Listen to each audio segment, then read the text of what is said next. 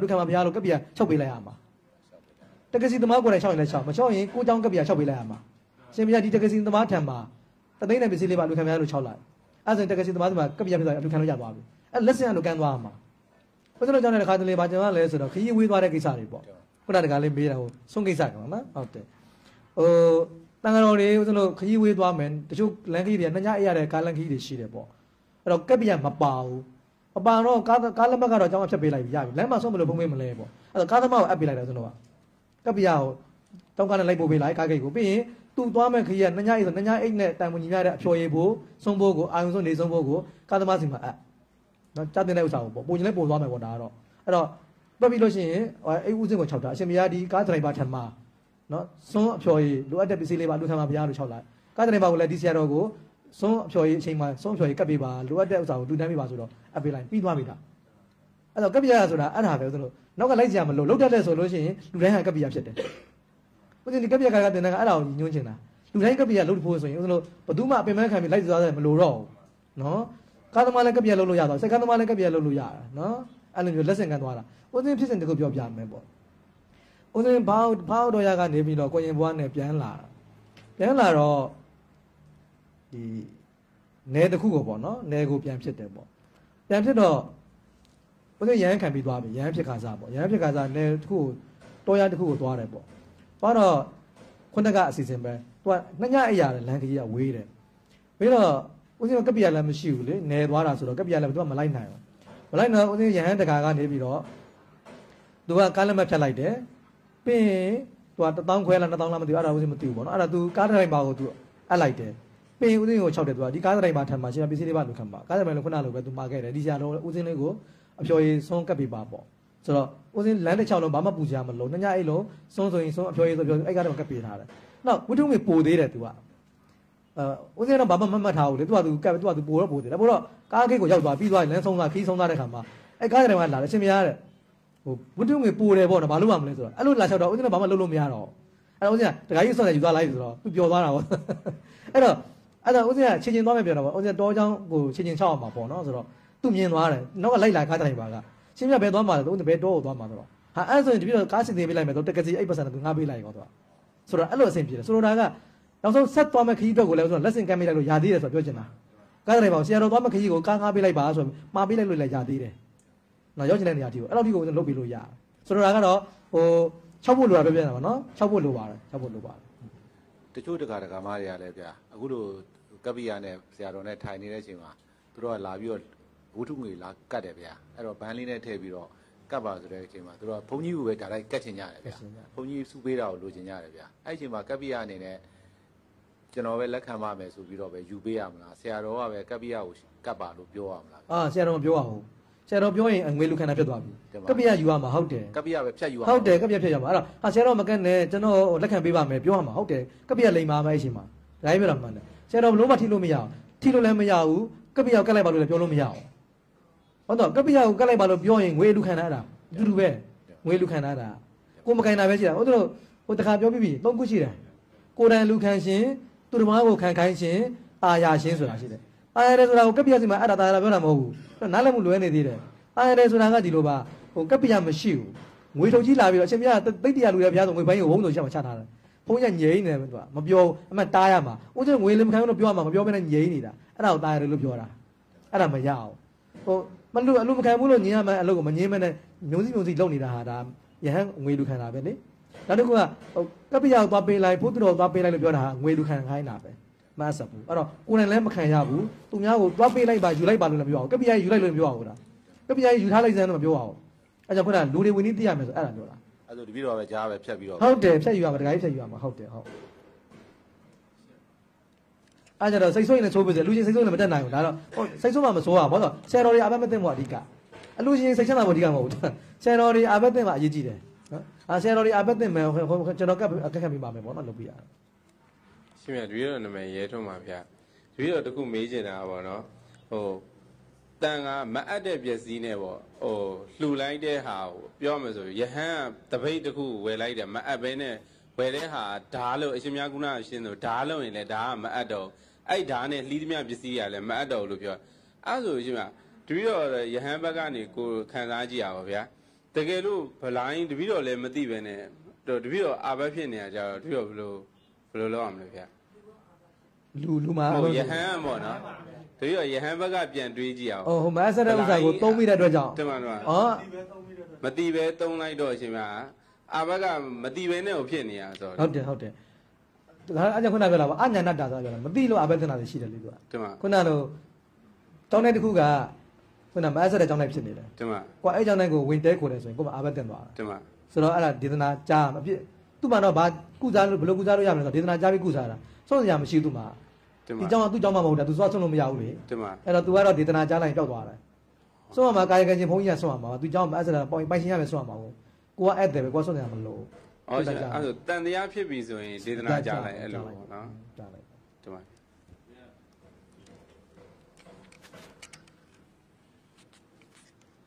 တပည့်တော်နာမည်ကတော့တကားကြော်ကြော်တွေးဖြစ်ပါတယ်ဗျာ အတပည့်တော်မဲမယာအကြောင်းနဲ့ပတ်သက်ပြီးတော့ရှောက်ထားတင်ပါတယ်ခုတပည့်တော်တို့ရှိမှတော်တော်များရဟန်းတွေကိုယ်တိုင်တူကံပြီးစောက်တဲ့ကြောင်းနေများပါတယ်အဲ့လိုကြောင်းတွေကမဲမယာမှန်းသိလို့ရှိရင်အဘလို့စုံมาပြီးတော့အပ်ပါတယ်ဗျာသူကနီလန်တစ်ခုတော့ပေးထားတာရှိတယ်ပေါ့ထက္ကနာမှာတော့မပါဘူးတီကာအရနော်တာရိထတီကာလို့ခေါ်ပါတယ်အဲတာရိထတီကာကျမ်းရဲ့နီလန်ရကတော့သူကလူတွေကိုအပီးပိုင်ဆွမ်းအောင်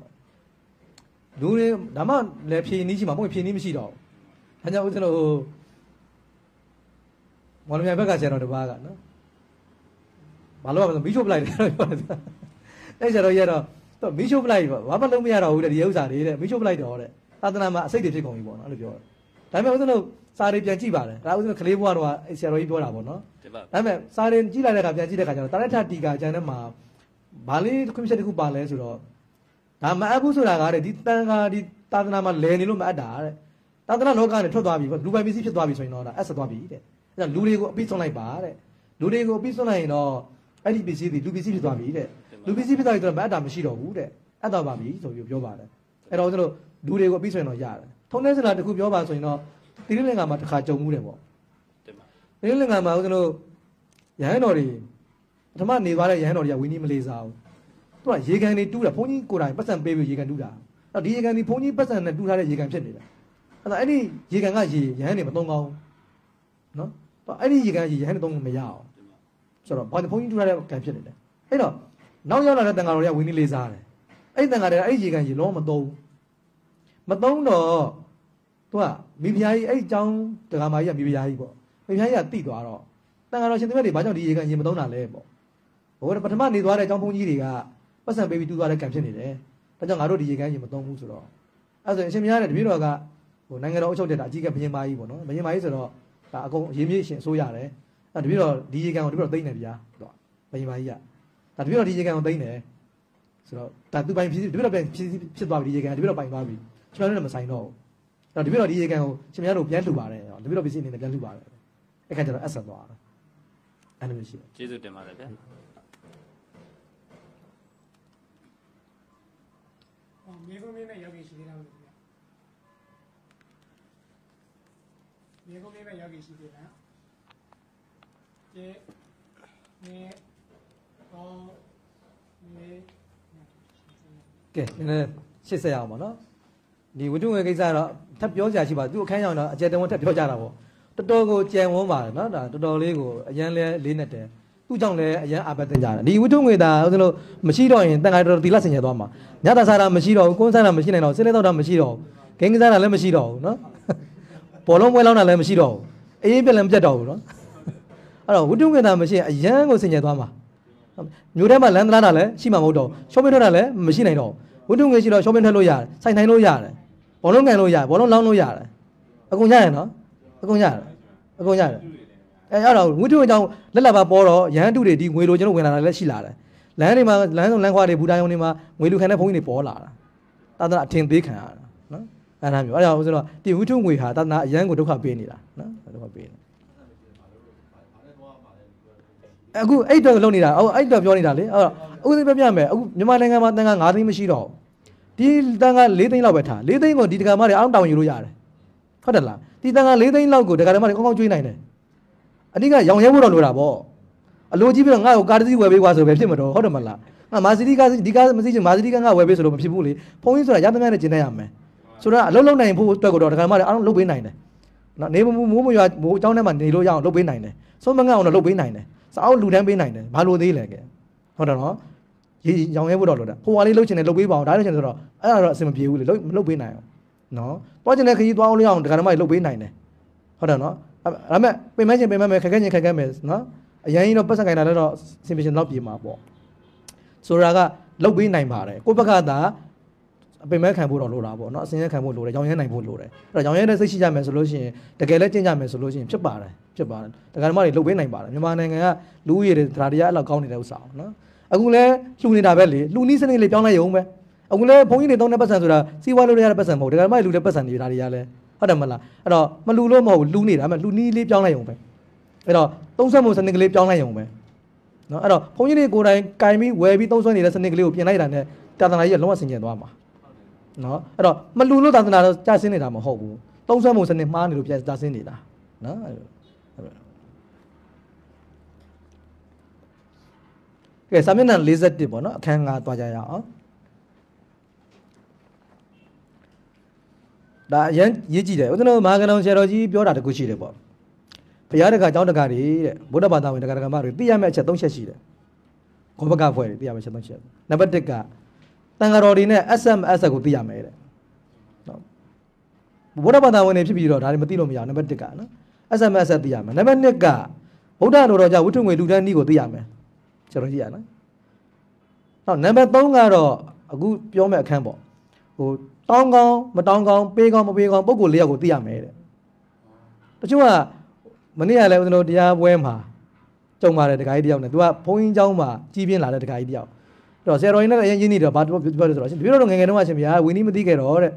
အခုမှအရှင်ဘုရားလို့တရားတွေနာပြီးတော့ဝီနီးသိလာလို့ဆင်ရှင်မိတာပေါ့အရင်တော့ဗာလဲဆိုတော့ဘုန်းကြီးပတ်စံ၅ပတ်စံပဲသူကเจ้าပတ်စံ၅ပတ်စံပဲသူအဲ့လိုဆိုတော့ဘုန်းကြီးကရန်ရင်းနေတော့တယ်သူကဘုန်းကြီးပတ်စံကိုပတ်စံဘုန်းကြီးပတ်စံယူရင်ယူသုံးနေတာသူက နောက်ဆုံးသူဘုန်းကြီးចောင်းကားနဲ့သမီးစားချင်းတွေ့တာသူចောင်းကားနဲ့ချင်းတွေ့တာသူအဲ့လိုမျိုးသူကဆိုတော့အရန်ခင်မရင်းနေတော့ဒီចောင်းပစ္စည်းကသုံးကောင်းမသုံးကောင်းသူမသိတော့ဘူးဒါကြောင့်ကျွန်တော်မာကလောင်ဆရာတော်ကြီးကဗုဒ္ဓဘာသာဝင်တွေဟာတောင်းကောင်းမတောင်းကောင်းပေးကောင်းမပေးကောင်းဒါတွေသိရမယ်အဲ့တော့သုံးချက်ဆရာတော်ကြီးပြောတာလေဗုဒ္ဓဘာသာဝင်တိုင်းဝင်တိုင်းတန်ဃာတော်များနဲ့အဆက်တက်ပစ္စည်းမအဆက်တက်ပစ္စည်းသိနိုင်သိအောင်ကြိုးစားရမယ်နံပါတ်1ကဗုဒ္ဓတော်ကြောင့်ဝိထုငွေလူတန်းနည်းကိုသိရမယ်နံပါတ်3ကတော့တောင်းကောင်းပေးကောင်းမတောင်းကောင်းမပေးကောင်းအဲ့ဒါတွေကိုသိရမယ် နော်အဲ့ဒီအခန်းလေးလည်းအခုအခန်း9ပေါ့နော်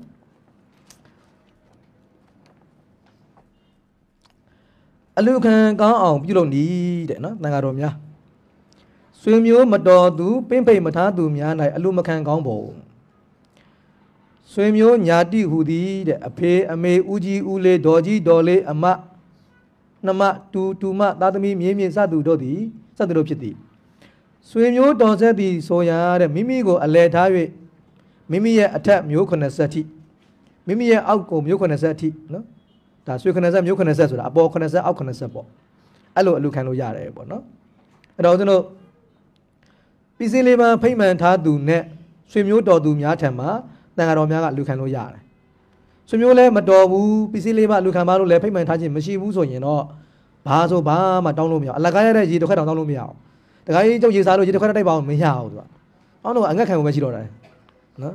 အဲ့တော့ဘုရားရှင်သာသနာတော်ကအဲ့လိုအပင်မဲခံနိုင်တဲ့စိတ်ရှိကိုရှိရမှာဟာအသေးတော့မခံနိုင်ဘူးတောင်းတောင်းမှာဘာဖြစ်လဲရေးလကားရတဲ့တောင်းမှာပဲလူလိုမတွေးရအောင်သာသနာလိုတွေးရမှာနော်သာသနာလိုတွေးရမှာအဲ့တော့ကြောင့်ကျွန်တော်တရားဓမ္မတွေကအဲ့လိုတန်ဃာတော်များချမ်းသာအောင်အတွက်ပစ္စည်းလေးပါဖိတ်မှန်ရတယ်ဟိုလိုမျိုးပစ္စည်းလေးပါလူနိုင်မှမဟုတ်ပါငါတို့ကမချမ်းသာဘူးမချမ်းသာမနဲ့ပစ္စည်းလေးပါဖိတ်လိုက်ရင်ဒုက္ခရောက်မယ်အဲ့လိုမတွေးရအောင်တခါတလေတန်ဃာတော်တွေအခက်အခဲတွေရှိလို့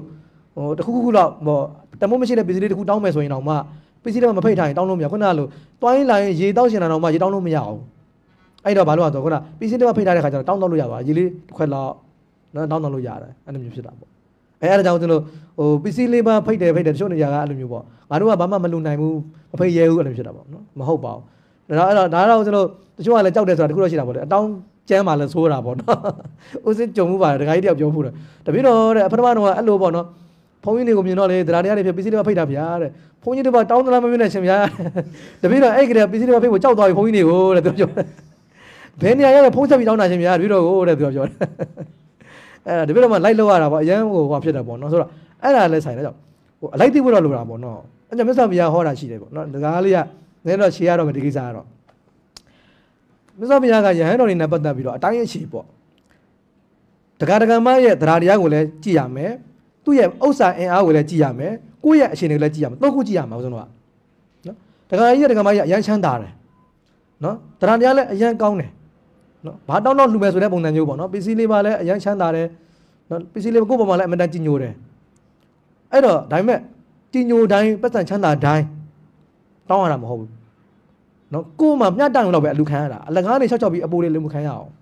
အဲ့လိုမျိုးတက္ကမကြီးကတရားတက္ကကြီးကတရားတရားအရန်ကောင်းတယ်ဝိတုငွေလည်းအရန်ချမ်းသာတယ်ဒါပေမဲ့ ကိုယ့်အတိုင်းရှိကိုသိရမယ်ကိုယ်ဘယ်လောက်လိုတယ်လဲတကယ်ရောလိုသလားဒါကိုကြည့်ရမှာမလိုအပ်ဘဲနဲ့၆အလူခံမနေရအောင်သာသနာမှာမြတ်စွာဘုရားသာသနာထင်သေးတာမကြိုက်ဘူးမြတ်စွာဘုရားလူတွေကအမြင်မှာသာသနာတော်ဒီအမတန်အစင်းမြင့်တဲ့ပုံစံဖြစ်နေရမှာလူတွေကအထင်သေးတဲ့ပုံစံဘုရားလက်မခံအောင်အောက်တန်းစားအနေနဲ့ကြည့်တာဘုရားမကြိုက်ဘူးအဲကြောင့်မြတ်စွာဘုရားယဟန်တော်တွေကိုအစင်းမြင့်မြင့်နေခိုင်းခဲ့တာနော်အမတန်တရားတရားကောင်းဝိတုငွေလည်းချမ်းသာပေမဲ့လည်းတောင်းချင်တယ်မတောင်းနဲ့ကိုယ်မှတကယ်ရောလိုနေသလားတကယ်လိုမှမြတ်စွာဘုရားတောင်းကြည့်ဦးစလို့ယဟန်တပါ သင်္ကန်းသုံးထည်ရှိတယ်ဒုကောဧကတိသင်္ပါဓမြတက်ခံရတယ်ရှေ့ကတော်ကသင်္ကန်းကတိုင်မိုးကြီးတော့အလုခံရတယ်ဝိဇ္ဇာယဟန်သင်္ကန်းတစ်ထုံးမှတစ်စုံမှမရှိဘူးအဲ့တော့အဲ့ဒီသင်္ကန်းဘယ်နှစ်ထည်လူခံခွင့်ရှိတယ်ဆိုနှစ်ထည်ပဲလူခံလို့ရတယ်သုံးထည်လူခံခွင့်မရှိဘူးဟာငါမှသင်္ကန်းသုံးထည်လို့မရှိဘူးလေမဟုတ်ဘူးဝိရရင်တော်ပြီဗျာသုံးထည်မတောင်းနဲ့မဆော့ဗျာနှစ်ထည်ပဲတောင်းတကယ်သူကသုံးထည်မရှိဘူးနော်ဒုက္ခလည်းမရှိဘူးသင်္မိုင်လည်းမရှိဘူးဧကတိလည်းမရှိဘူးတစ်ထည်မှမရှိတော့ဘူးအဲ့ဒါဘယ်နှစ်ထည်တောင်းမလဲဆိုတော့နှစ်ထည်ပဲတောင်းရမှာတဲ့မဆော့ဗျာသုံးထည်မတောင်းနဲ့တဲ့ ဆိုတော့ဘာသူမှသုံးထည်မရှိဘူးနော်ဒါပေမဲ့သုံးထည်မတောင်းပါဘူးနှစ်ထည်ပဲတောင်းတော်ပြီဘုရားဘောအဝင်းရင်တော်ပြီဘောပြဆော့ဗျာအဲ့လိုမျိုးပဲဆော့ဗျာလုတ်ခဲ့တာနော်အဲ့ဒါအဲ့ဆိုဆိုလိုတာကပတ်စံချမ်းသာတိုင်းတရားတရားရှိတိုင်းလည်းအလိုမခံရအောင်ကိုလိုတကယ်လိုတယ်ဆိုမှအတောင်းမှလူခံပါတစ်ချက်နော်နောက်တစ်ခုကကို့မှလည်းတကယ်တော့လိုနေတယ်တကယ်တကယ်မှလည်းတရားတရားကောင်းတယ်ဒါပေမဲ့သူကမချမ်းသာမချမ်းသာဘူးဆိုရင်သူ့ရဲ့ဒါဥစ္စာဒနာကိုငဲ့ညာတော့အဖြစ်သူနဲ့တက်တော်တော့ပဲလူခံရမှာ ဟုတ်ပြီနော်တကယ်တော့ကိုလိုနေတာကသိတ္တရာလောက်လိုနေတယ်ဆိုပါဆိုတာဒါပေမဲ့သူ့မှာသိတ္တရာမရှိဘူးတရားတရားလည်းတကယ်ကောင်းတယ်တကယ်ရှိရင်သူလှူမှာအဲ့တော့ကိုကသွားမတောင်းပါဘူးသူ့အချင်းတွေကိုသိရမှာအဲ့တော့ကိုကတက်တော်လောက်ပဲသူနဲ့လှူနိုင်မယ်အဲ့လောက်ပမာဏကိုမှတ်ပြီးတော့လူခံပေးရတာအဲ့ဒါမျိုးပြီးစကားလည်းခံပေးတကယ်မှနိုင်မှလူနော်မနိုင်မလူနဲ့နော်စကားခံပေးရမှာကိုအလိုက်သိရမှာဘုန်းကြီးကအလိုက်ကန်း都သိဖို့လိုတယ်နော်အလိုက်ကန်း都မသိရင်သူကသာသနာအထင်သေးခံရတယ်ဘုန်းကြီးတွေဘုန်းကြီးတွေအရင်အတောင်းအတောင်းကျန်တာပဲဆိုဖြစ်သွားတာနော်ဒါကဦးဇင်းတို့ ဘာသာဥစ္စာသနာရဲ့အင်အားကိုကြည့်ရမယ်နောက်တစ်ခါတရားတရားအင်အားတချို့ကအရန်ချမ်းသာတယ်ပစ္စည်းတွေမှလည်းဖိတ်တယ်ဒါပေမဲ့ဝိจิตနဲ့ကြီးဖိတ်တာတချို့ကလည်းဟိုမကောင်းတဲ့လို့ဖိတ်တာမျိုးရှိတယ်အာနာလို့ဖိတ်တာရှိတယ်အများလည်းမမို့လို့ဖိတ်တာရှိတယ်အဲ့တော့ကိုကအဲ့ဒါကိုသိရမယ်ဒီတက္ကမကြီးကတကယ်လှူချင်းလို့ဖိတ်တာလားမကောင်းတဲ့လို့ဖိတ်တာကိုကသိနေရမှာအဲ့ဒါကို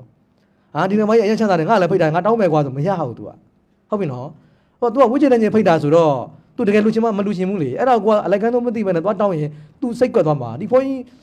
ငါဖိတ်တာအခွင့်ကောင်းချင်ငါတောင်းပါလားဆိုဖြစ်သွားတယ် အဲ့တော့မြတ်စွာဘုရားက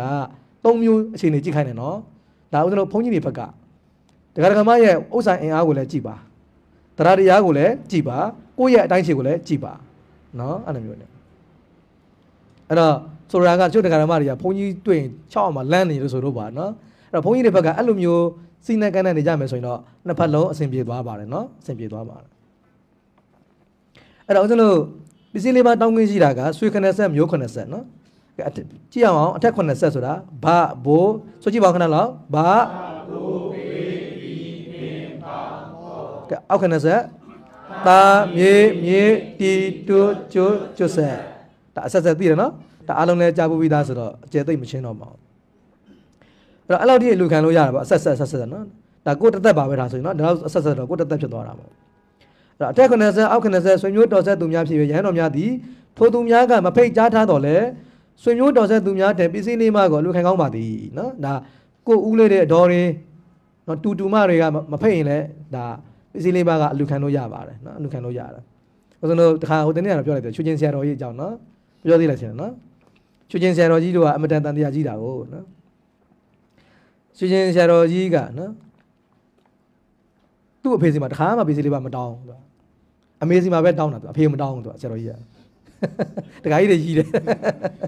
တခါကြီးတွေသဘောပေါက်သွားတယ်နော်အဲ့တော့ဆရာတော်ကြီးကဘယ်တော့မှအဖေစီမှာမတောင်းအမေစီမှာပဲတောင်းတော့အဖေကစဉ်းစားဒီဥစဉ်ငါစီဘာလို့မတောင်းလဲပေါ့နော်ငါလည်းအသူ့ဖေပဲပေါ့နော်ဆိုဥစဉ်တပည့်တော်ကိုဘာလို့ရှင်မတောင်းတာလဲဆိုမပြောဘူးဆရာတော်ကြီးအာနာတော်လေရှင်မပြောသမ်းမှာဘာဖြစ်လို့မတောင်းတာလဲတပည့်တော်စီကိုဒကာကြီးတဲ့ဒကာကြီးကအဖေဆိုမှလည်းဥစဉ်မယုံဘူးတဲ့ အဲ့တော့အမေကတော့တေချာတယ်တဲ့အဖေကတော့စစ်လားမစစ်လားဥစဉ်တန်တရားဖြစ်နေတာတဲ့အဖေကတန်တရားရှိနေတာတပည့်တော်ရဲ့အဖေဟိုဆရာဥစဉ်ရဲ့အဖေကိုတဲ့ဒကာကြီးကိုဥစဉ်ကတန်တရားရှိနေတာဆိုတော့ဆရာတော့ဆရာတော့အဖေကစိတ်ဆိုးပြီးတော့အရှင်မရအဲ့တော့တန်တရားရှင်မအမေမေးကြည့်ဗျာတဲ့အရှင်မရအရှင်မရအမေမေးကြည့်ဆိုတော့ကြီးညိုဖို့ကောင်းပါတော့နော်ဆရာတို့အမတန်ဝင်ပြီးထိုးတာပေါ့နော်အဖေကိုယ်တော်မှတန်တရားရှိချပါတော့ဆရာတို့ကြီးရနော် ကိုယ့်ဖေတော်ကိုယ်တန်တရားရှိတယ်ပေါ့အမေကတော့တေချာအဖေကတော့တေချာမလားမသိဘူးပေါ့ဆိုတော့အဲ့လိုမျိုးပေါ့နော်อืมအဲ့တော့ကောင်းပြီနော်အဲ့တော့နောက်တစ်ခုဦးစင်းမေးကြည့်မယ်အဲ့ဆိုရင်ဟိုပေါ့နော်ဟိုရောက်ဖားနေပါလေဆိုရင်ရောလူခံလို့ရမလားမရဘူးနော်ဆွေကလေးမျိုးကတော့ရောက်ဖားမပါဘူးနော်ရောက်ဖားမပါဘူးပေါ့ဟုတ်တော့သူကတွေးသားတော်ဆမှုမရှိဘူးလေနော်ဟိုလောကသဘောအရဖြင့်တော့ ကိုအမကိုညမနဲ့ရသွားလို့ရောက်ဖားတော်တယ်ဆိုပေမဲ့လည်းတွေးသားတော်ဆမှုမရှိဘူးလေအဲကြောင့်ဟိုကိုရောက်ဖားတွေကကိုနဲ့မဆိုင်ဘူးအဲကြောင့်ရောက်ဖားဖြစ်တဲ့ပုံကိုယ်တွေပစ္စည်းတွေဖတ်ရမှာနော်အဲတချို့သတိမထားမိကြတာဟာငါသူ့ဦးစင်းရဲ့ရောက်ဖားပဲငါဆွေမျိုးတော်နေပြီးသားပဲဆိုပြီးတော့အဖေပဲနေတတ်တယ်မဟုတ်ဖတ်ရမှာနော်အဲ့တော့ရောက်ဖားတွေကဦးစင်းတွေသူ့ဟိုဆိုကရောက်ဖားဆရာဦးစင်းတွေကိုပစ္စည်းတွေမှမဖတ်ရင်အလိုခံလို့မရအောင်သူ့အမညီမတွေမှာတော့လူခံလို့ရတယ်ရောက်ဖားစီမှာလူခံလို့မရအဲမွေးလာတဲ့တူတူမလေးတွေမှာတော့ရပါတော့ဒါကိုယ့်ရဲ့ညီမအမရဲ့သွေးသားပါနေတယ်လေ ပါတော့အလူခံလို့ရတယ်တူတူမတွေတော့ရတယ်ရောက်ဖားတော့မရအောင်အဲ့လိုမျိုးပေါ့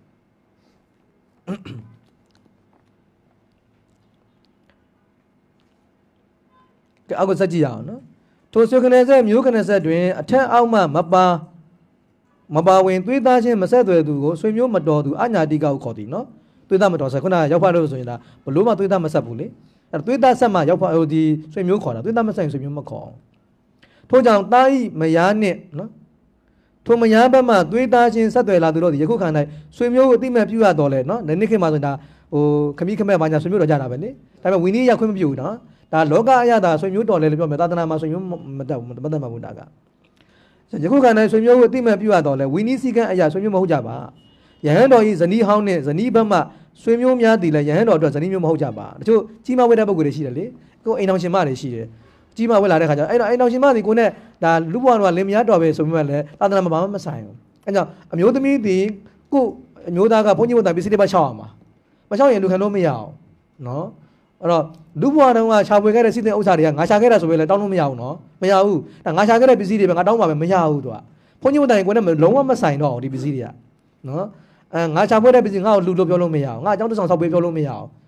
အဲသတိထားရတယ်နော်တို့တို့ကြုံမှုလားတို့တို့ စာနေလိုက်တွေမှာတခါတလေအဲ့လိုအသက်ကြီးမှဝက်လာတဲ့ဦးစင်းကြီးတခါတလေရောက်လာတာရှိတယ်ရောက်လာတော့သူတို့အဲ့ဒါပြောရတယ်တခါတော့ဦးတို့အဲ့မော်ဘီမာဝဲအကြောင်းမှာနေတော့အဲ့လိုကြုံရတာပေါ့နော်အဲ့ဟိုဘက်ကော့တောင်ဘက်ကဦးစင်းတစ်ပါးဆိုအဲ့လိုပဲတော်တော်တရားတရားကောင်းတယ်သူစီးပွားရေးအားလုံးရှာပြီးတော့သူအိမ်မှာအမျိုးသမီးသူထားပြီးဖုန်းကြီးဝက်လာတာသူကဟိုသူကတံဝေကပြတာသူအမျိုးကလေးလေးဆုံးသွားလို့ပါသူကကလေးလေးကအက်ဆီဒန့်ဖြစ်ပြီးဆုံးသွားတော့သူတံဝေကဖြစ်ပြီးတော့ဖုန်းကြီးဝက်လာတာတရတဲ့လည်းတော်တော်ကောင်းပါတယ်နော်ဝင်းနီလည်းလေးစားချပါတယ်ဒါပေမဲ့ तू ဝင်းနီမသိတော့ तू ခြာခဲ့တဲ့ငွေဟာ तू ပိုင်တယ်လို့ तू ထင်နေတာ तू စိတ်ထဲမှာပေါ့တော့ဝင်းနီမတင်ဘူးသေးဘူးပေါ့နော်ကြောင်ရောက်ခေါ်စားဆိုတော့အဲ့တော့ तू ကသူ့အမျိုးသမီးစီကိုမှားမာနေတော့ဝိထုငွေမှားတယ်ကိုစင်းတော့မသိဘူး तू ကငါ့ကိုဘယ်လောက်ပူပေးဘယ်လောက်လူပေးဆိုတာ तू ကလက်လက်မှားတယ် तू ကအမျိုးသမီးစီကိုလေအမျိုးသမီးကလည်းလူလူပေးတယ်ပေါ့လာစင်လာစင်လူပေးတော့နောက် तू ကအရန်ကိုပစ္စည်းတွေပေါ်ပေါ်တူကြီးတုံးနေတာမြင်တော့တန်တရားရှိလားသူ့ကိုမေးတယ်ဦးစင်းကြီးနေပါအောင်လို့ဒီပစ္စည်းတွေဘယ်ဘယ်ရရတော့ပေါ့နော်အရန်ပေါ်ပါလားပစ္စည်းတွေပေါ့နော်ဆိုတော့အားလည်းသူ့အမျိုးသမီးစီက तू အလူခန်းနေတာတဲ့နင်းဆိုအဲ့တော့ဦးသိန်းရဲ့အမျိုးသမီးက ပစ္စည်းတွေမဖိတ်ထားလားမဖိတ်ဘူးတဲ့ဒါတပည့်တော်ရှာခဲ့တဲ့ပစ္စည်းတွေလေးတဲ့ဒါနော်ဒါဒါတပည့်တော်ရှာခဲ့တဲ့ပစ္စည်းတွေလေးတဲ့ဒါဆိုပြောတာအဲ့တော့သူနဲ့တပည့်တော်နဲ့အမွေခွဲထားပြီးသားတဲ့ဒါဆိုတော့မရဘူးဦးစင်းလို့အဲ့ဒါကဦးစင်းလူဘွားတော်ဟာဆိုတော့ဘုန်းကြီးဦးတိုင်းဦးစင်းနဲ့မဆိုင်တော့ဘူးလေလို့သူပစ္စည်းလေးပါချောက်အောင်ပါလို့ဆိုတော့အဲ့ကြောင့်မှ तू ကအတူအမျိုးသမီးဝီလီပြန်တင်ပေးရသေးတယ် तू ဝီလီပြန်တင်ပေးတော့အမျိုးသမီးရဲ့သဘောပေါက်တော့ပြန်ဖိတ်တာပေါ့နော်ပစ္စည်းလေးပါပြန်ဖိတ်တော့အဲအဆင်ပြေသွားတာပေါ့နော်အဲ့လိုမျိုးရှိတယ်ပေါ့အဲ့ဒါသိအဲ့လိုမျိုးသိရမှာနော်ဝင်းနေတွေက သာသနာတော်ကအဲ့လိုအတိအကျအရင်လေးစားလိုက်နာဖို့ကောင်းပါတယ်စမျက်နှာ40နဲ့နှစ်နော်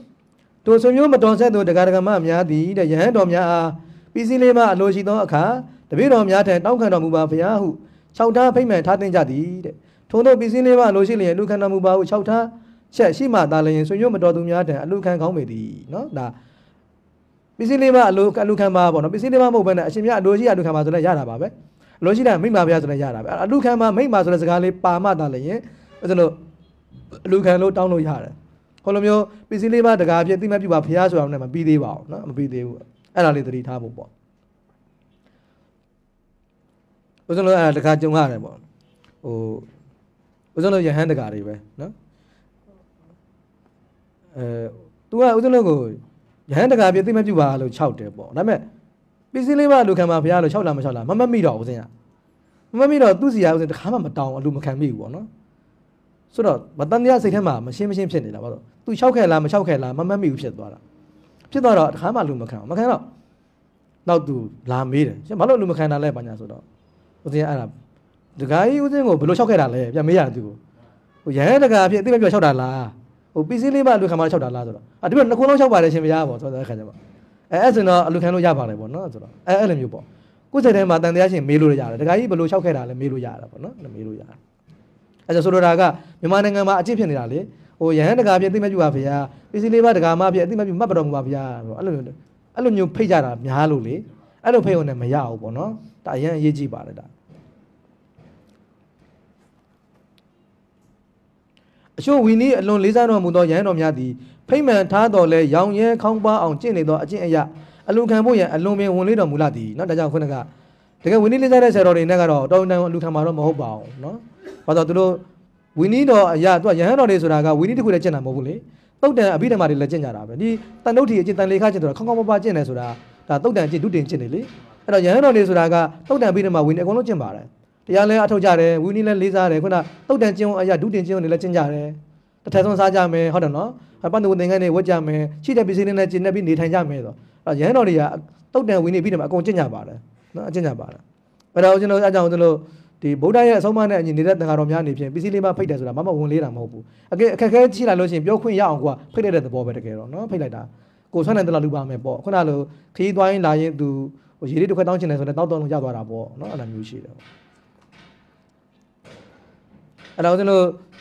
အဲ့လိုဝီနီတွေသင်ပြီးတဲ့ခါကျတော့တချို့ဦးဇင်းတွေဘာတန်တရားဖြစ်သွားလဲဆိုတော့ခရီးတွေဘာတွေသွားတယ်ဦးဇင်းတို့ကျောင်းသားတန်ခါကျတော့ဖုံးမကင်ဘူးလေဖုံးမကင်တော့ဘာတန်တရားဖြစ်လဲဆိုတော့တခါတလေကိစ္စရှိလို့ဟိုလမ်းသွားရင်းနဲ့အခက်အခဲကြုံလို့ကျောင်းကိုဖုံးလက်ဆက်ရှင်တယ်တော့ရွာကိုဖုံးလက်ဆက်ရှင်တယ်အဲ့တော့ဖုံးသူများစီကငါဆိုင်အားပဲတင်မတင်ဆိုပြဿနာတက်လာတယ်ဖုံးဘေကုန်တယ်လေသူကဖုံးဘေကပတ်စံပုံစံဖြစ်နေတော့သူကဖုံးငါဆက်လိုက်တမိနစ်ကိုဘလောက်ဘလောက်ဖြတ်တယ်ဆိုတဲ့ခါကျတော့သူများဟာကိုဘယ်လိုပြောမလဲ ပစ္စည်းလေးပါမဖိတ်ထားဘဲနဲ့သုံးဆက်တယ်လို့ဖြစ်နေတယ်ပေါ့အဲတော်တော်များများမေးကြတယ်ပေါ့ခီးသွားပြန်လာတော့ဥစဉ်နေမေးကြတယ်အဲ့ဒါဟိုအဲ့လိုမျိုးပစ္စည်းလေးမဖိတ်ထားရင်ဖုံးငါဆက်လို့ရပါမလားပေါ့ဆိုတော့အေးဒါတော့ဟုတ်တယ်လားမရတော့ဘူးလို့ဆိုတော့နော်ဟုတ်တော့ဟုတ်တယ်ဟုတ်တာပေါ့နော်ဒါဟိုကုံသွားတဲ့ဥစ္စာမကုံတဲ့ဥစ္စာဆိုငှားလို့ရတယ်ဒါဥတို့ငှားလို့ရတဲ့ဖုံးငှားတဲ့ဆိုတာဖုံးပစ္စည်းကိုငှားတော့ဘေးကကုံသွားတယ်လေအဲ့တော့ငှားလို့ရတဲ့ဟာရှိတယ်ဖားလို့မရတာရှိတယ်အဲ့တော့မကုံသွားတဲ့ဟာဆိုငှားလို့ရတယ်မပေါက်တူးတို့နော်ကားတို့မကုံတဲ့ဟာဆိုငှားလို့ရတယ်ကုံသွားတာဆိုငှားလို့မရအောင် နော်အဲ့လိုမျိုးတဲ့အသုံးဆောင်ပစ္စည်းတွေကဒီကနေ့မှငှားလို့ရငှားသုံးလို့ရပါတယ်ဖုံးကငှားလို့ရတယ်ဒါပေမဲ့ဘေးကြတော့ငှားတာမဟုတ်တော့ဘူးအဲအဲ့လိုမျိုးရှိတာနော်အကုံသွားတာကို तू ကဘေးကြတော့လေအဲအဲ့ဒါမျိုးတော့သတိထားစရာတစ်ခုတော့ရှိတယ်ဝင်းနေဆောင်ရဟန်းနေအနေနဲ့ဖုံးဆက်မယ်ဆိုရင်တော့မှဖိတ်မှန်မထားရင်ဖုံးငှားဆက်ဖို့တော့မှနည်းနည်းတော့ခက်တယ်အဲ့တော့ပစ္စည်းတွေမဖိတ်လိုက်တဲ့ကဏ္ဍမှာဆိုရင်တော့တခါကြီးဖုံးလေးခဏဆက်ပေးပါဟိုဖုံးဆက်ခွင့်ပြုပါဆိုတော့အဆင်ပြေတာပေါ့နော်ဟုတ်ကဲ့မောအေးပါ မအဲ့ဒါကတော့ကိုကအလိုက်တသိပါခီးသွားဟိုကေးကြုံလို့ရှိရင်ပေါ့အချိန်ဖုံးဆက်လို့လိုပါသလားမင်းရင်လည်းရတာပေါ့ကိုကဖုံးဆက်လို့ဖုံးဆက်လို့ခွင့်ပြုပါလို့ရပါတယ်ပေါ့နော်ဆိုတော့၆ထားမှာပေါ့ကိုကတော့အဲ့လိုပေါ့အေးပေါ့အေးပေါ့အဲ့တော့ဦးဇင်းတို့ပြောပြမယ်ဦးဇင်းဘာလုပ်ဘူးလဲဆိုတော့ဦးဇင်းမဟာသီရိတာမှာတရားထုတ်ဖို့တင်ပါပေါ့နော်ကိုရင်ဘွားတုန်းက14နှစ်15နှစ်သားအရွယ်15နှစ်သားအရွယ်မဟာစီမာတရားထုတ်စဉ်တုန်းကအဲ့ဦးဇင်းဖောက်တော်ရကိုသွားဖို့အတွက်ပေါ့ မဟာစီကနေဦးဇင်းဖောက်ကိုပြောင်းမယ်ပေါ့အထုတ်မယ်ပေါ့ပြောင်းမယ်အထုတ်မယ်ပေါ့နော်နောက်တစ်မယ်ဆိုတော့ခုနဦးဇင်းပြောသလိုဦးဇင်းကပ္ပိယမရှိဘူးကပ္ပိယမရှိတော့ဦးဇင်းကမရှိလဲဆိုဆုံးခံသွားတော့သွားလိုက်စေးတွေပါရတယ်ဆက်ပြရတယ်အဲ့တော့ဟမ်းဖုန်းတွေပါလဲခက်မစားသေးဘူးဒီအထိုင်ကျိုးဖုန်းတွေပဲတော့ရုံးမှာသူတို့အဲ့ဟိတေတီရှိတယ်မဟာစီရိတ်တာဌာနဘန်းမှာဘန်းဌာနချုပ်မှာဟိတေတီရှိတယ်အဲ့ဟိတေတီမှာ तू ကဖုန်းကပတ်စံပေးပြီးဆက်လာမသိဘူးအဲ့တော့လေဦးစင်းမတ်မိတာအဲ့ဒါနဲ့ဦးစင်းက ဖောင်းတို့ရအောင်သွားဖို့အတွက်ကပ္ပိယကိုလမ်းခေါ်ဖို့အတွက်ဖုန်းဆက်ဖို့လိုနေတယ်လိုတော့အဲ့နဲ့အဲ့ဟိတေတီဦးစင်းသွားတယ်သွားပြီးတော့သွားတယ်စီတပူးယူသွားတယ်တခါကြီးလို့ဦးစင်းဖုန်းဆက်ရှင်တယ်လို့ကိုရင်ကိုရင်ကိုရင်ကိုရင်ဖုန်းဆက်ရှင်တယ်လို့ဝိတုငယ်မရှိဘူးပေါ့သွားတိုက်စေဘူးရှိတယ်လို့သွားတိုက်စေဘူးရှိတယ်ဆိုတော့အာရပါတယ်ဗျာရပါတယ်ဗျာဖုန်းဆက်ပါဗျာဆိုသွားတိုက်စေဘူးနဲ့ပေါ့နော်ဆိုအဲ့လိုမျိုးပေါ့ရတယ်မလို့ပေါ့တစ်ခါကရှိတယ်ဆိုတော့နီလန်းနေတော့တခါကြီးအများကြီးရှိတယ်တခါဘုရားပေးတဲ့နီလန်းနေရှိပါတယ်အဲ့တော့ဦးဇင်းတို့ အရင်တုန်းကဆိုရင်ပေါ့အခုခေတ်တော့နည်းနည်းတော်တော်များများကားတွေကတန်ခါတော်များဆိုအလကားဖြစ်ကုန်ပါပြီအရင်တော့ဆိုကျွန်တော်အဲ့လိုပဲစီးရတာပေါ့နော်ဟိုဦးတင်ဖောက်တော်ကနေပြီးတော့မော်ဘီကိုပြန်လာစင်တော့လည်းကပ်ပြန်မပေါအောင်အဲ့တော့ဖောက်တော်ကနေပြီးတော့ကားလည်းမဖြတ်ပေးလိုက်တယ်ဦးစင်းဒီထောက်ချက်မှာဆင်းတယ်ထောက်ချက်လမ်းဆောင်မှာဆင်းပြီးတော့မော်ဘီကိုဆက်သွားမယ်ပတ်စံမရှိဘူးကော်ဖီမင်းထုတ်တွေပါတယ်ကော်ဖီမင်းထုတ်တွေကိုရင်ဆိုတော့လေကွန်ပျူတာတယ်လေကော်ဖီမင်းထုတ်တွေဦးစင်း10ထုတ်လောက်နေပါတယ်အဲ့တော့ဦးစင်းကားသမားကိုသွားပြောတယ်မော်ဘီကိုသွားချင်လို့ပေါ့ ဝတ္ထုငွေမရှိပါဘူးပေါ့ဟိုကော်ဖီမင်းထုတ်တွေတော့ပါတယ်ပေါ့နော်ဆိုတော့ဆိုအာရပါတယ်ဖျာရပါတယ်ဖျာဆိုပြီးသွားတာပဲပေါ့ဆိုတော့အဲ့လိုမျိုးစီးလို့ရပါတယ်အဲတော်တော်များမယူရပါဘူးပေါ့နော်မယူကြပါဘူးအဲ့တော့ကျို့လည်းကျို့လည်းယူသွားတဲ့လူလည်းရှိအာနာပြီးတော့ယူသွားတဲ့လူလည်းရှိတယ်ပေါ့အဲ့လိုမျိုးအဲ့ဒါဦးဇင်းတို့ပေါ်ပီចောင်းစားတီထောင်ကာစာတုံးကလည်းတန်ဃာတော်များခကြီးသွားရင်အဲ့ဒီအရင်တုန်းကပါရမီကားတွေထင်နော်ပါရမီတို့မထတာတို့ပေါ့အဲ့ဒီမှာဆိုလို့ရှိရင်ခကြီးသွားမဲ့တန်ဃာတွေဆိုရင်ဦးဇင်းကစက်ပြခဲစက်ပြအမွေခဲတွေပေးလိုက်တယ်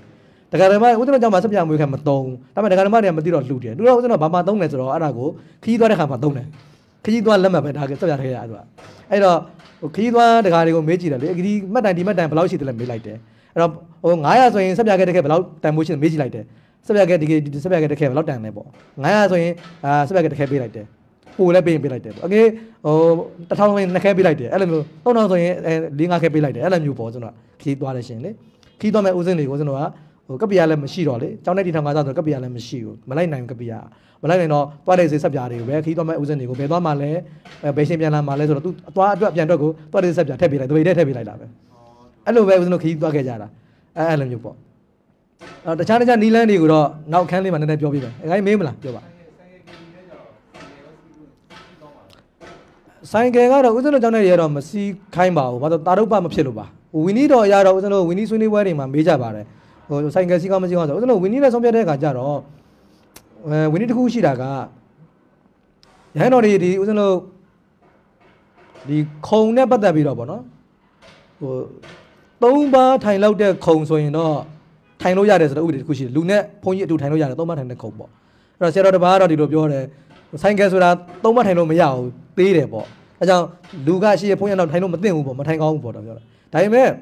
လေဒီဆရာတော်ရဲ့ ဆုံးဖြတ်တစ်ခုမှာကတော့ဒီခုံရင်ဆိုတာခုံထဲမှာမပါဘူးပေါ့ရင်နဲ့ခုံထဲမှာမဆိုင်ဘူးအဲကြောင့်ဒီရင်ကိုဒီဝိနည်းဆရာနဲ့သွားဆုံးဖြတ်လို့မရဘူးပေါ့အဲကြောင့်ရင်းသည်ငယ်သည်ဖြစ်စေကြီးသည်ဖြစ်စေဒီခုံဝင်းလေးဆရာနဲ့တော့ဆုံးဖြတ်လို့မရဘူးပေါ့။ဒါကြောင့်ဆိုင်ကယ်ဒီအဲ့ဒီဝင်းကြီးနဲ့အကျုံးမဝင်ဘူးပေါ့နော်။ဒီလိုဖြစ်သွားတယ်။နောက်တစ်ခါဦးဇင်းတို့စက်တက်ရင်ဖြစ်တဲ့ကြောင့်ဒါမစင်အောင်တဲ့ရင်ထဲမှာလည်းမပါဘူးပေါ့။မစင်အောင်တဲ့မျိုးစားလည်းမဟုတ်ဘူး။ပြီးရင်မျိုးသမီးမောင်းတာလည်းမဟုတ်ဘူး။မျိုးသမီးရှေ့ရထိုင်တာမဟုတ်တဲ့ကြောင့်အဆင်ပြေတယ်ပေါ့နော်။အဲကြောင့်ဟို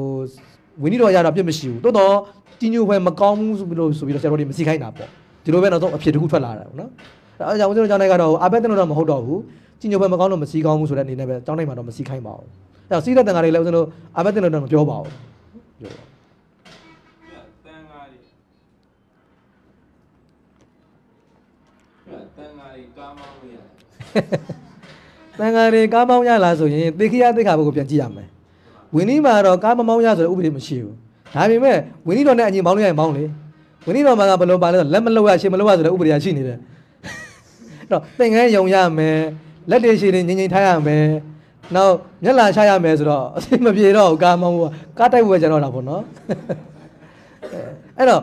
ကျောင်းထဲမှာပတ်မောင်းတာကိုတော့ပြစ်မဆိုတာဘူးဟုတ်ကောကျောင်းထဲမှာကျတော့ပြဿနာမရှိဘူးပေါ့ကျောင်းထဲမှာသူကသူအပျော်ကားပတ်မောင်းတာတော့ဘာမှဖြစ်ဘူးအဲရွာအဓိကတော့ရွာထဲမှာပြဿနာတက်တာပေါ့နော်ရွာထဲမှာကျတော့တခြားတခြားဝီနီးတွေကရှိနေတယ်လေ သင်္ကန်းယူရမယ်ဆိုတဲ့ဝီနီးလက်တွေရှည်တွေငြိမ်ငြိမ်ထားမယ်ဆိုတဲ့ဝီနီးတွေကရှိနေတယ်အဲ့တော့ဒီသေခိယဝီနီးတွေနဲ့ရှင်းလိုက်မယ်ဆိုရင်ဒီကားမောင်းတာကမညီဘူးဖြစ်နေတာပေါ့အဲကျောင်းထဲမှာသူကသူအပျော်ပတ်မောင်းတာတော့ပြဿနာမဖြစ်ပြောလို့တော့မရအောင်ဟိုကြည်ညိုတော့ဟိုကြည့်လို့မကောင်းတာတော့မကောင်းတာတကယ်တော့ပေါ့ဝီနီးရတော့ဘာအပြစ်မှတော့ပြောလို့မရအောင်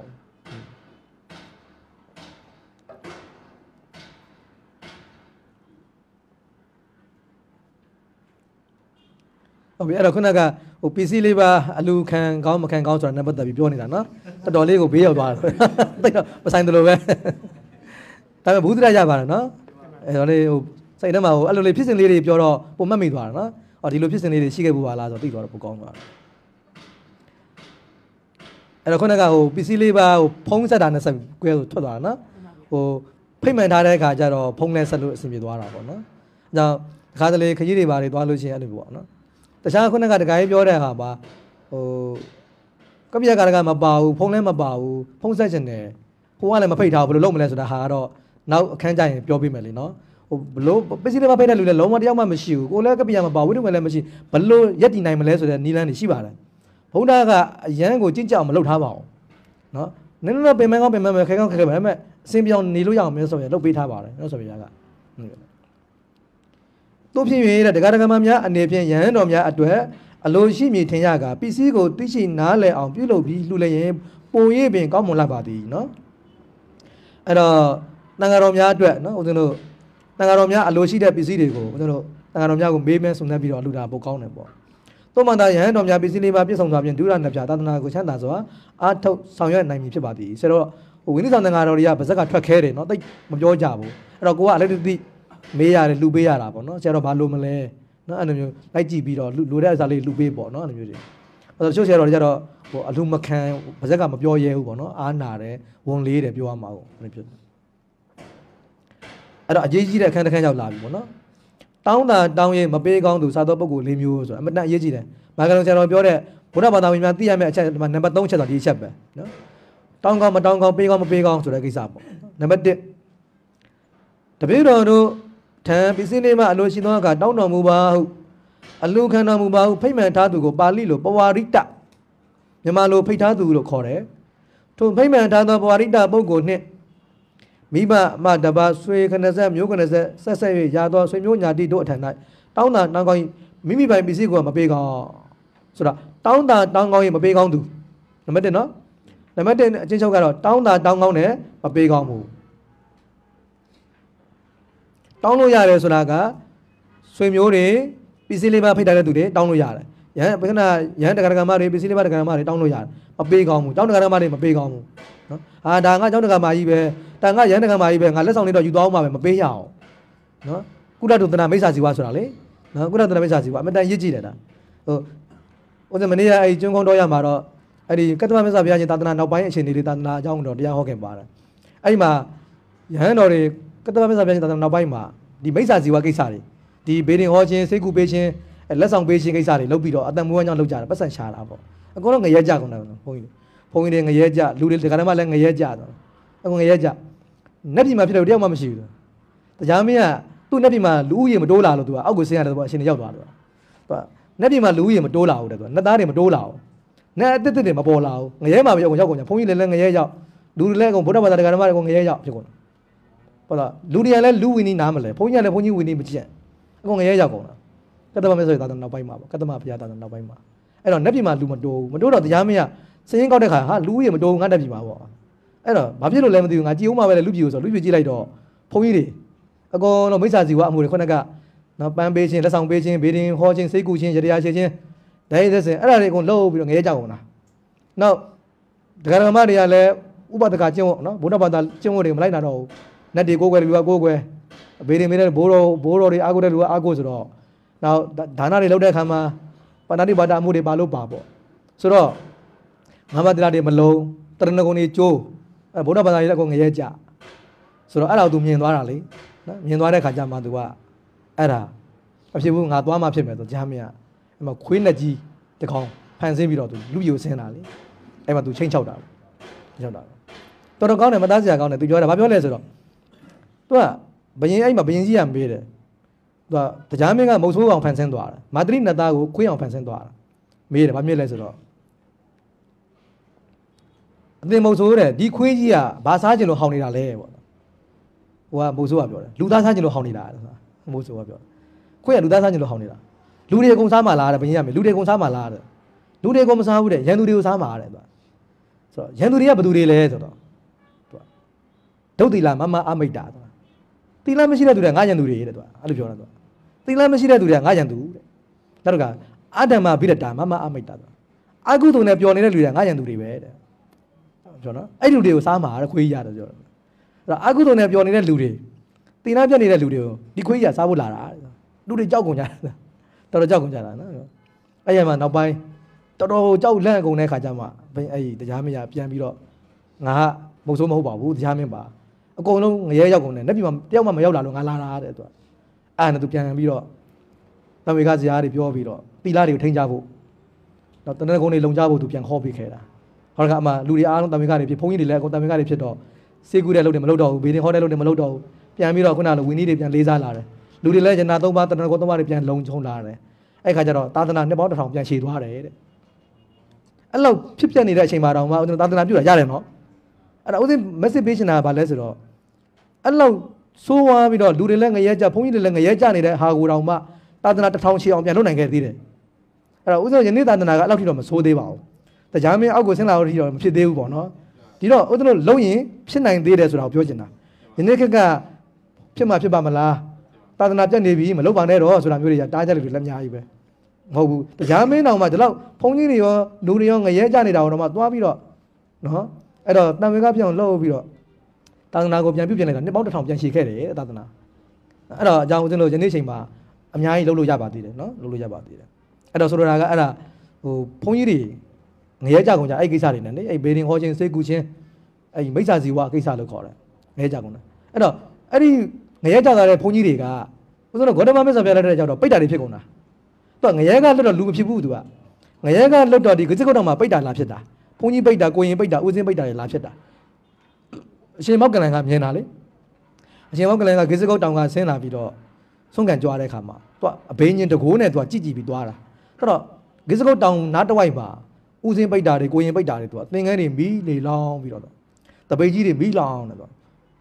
လက်ကလွတ်ချလို့မရဘူးအကုသိုလ်ကံကြောင့်ဖြစ်တာဆိုတော့တပိတ်ကိုလက်ကလွတ်လို့လည်းမရဘူးကတ်နေကော်ကတ်တယ်လို့ကတ်နေတာပူပြီးတော့နိုင်ငံကြီးကလည်းမီးတွေလောင်ပြီးပူကတ်ဖွာလို့မရအောင်ကိုရင်တွေဥစဉ်တွေပိတ်တာကြီးတွေអော်ပြီးပြေးနေတာကျင်မောက်ကလန်ကမြင်တော့တံမေကဖြစ်ပြီးပြုံးတော်မူတာ အဲ့တော့အရှင်ဘေးနားကကြွလာတဲ့အရှင်လက္ခဏာမထေရမြင်တယ်မြင်တယ်ဆိုတာပိတ်တာကိုမမြင်ဘူးအရှင်မောက်ကလန်ပြုံးတာကိုမြင်တာ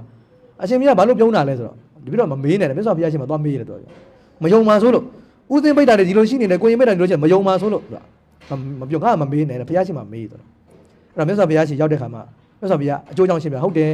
အခုဂိသကုတ်တောင်မှာအရှင်မောက်ကလန်မြင်ခဲ့တဲ့ပိဋ္ဌာတွေငါလည်းမြင်တယ်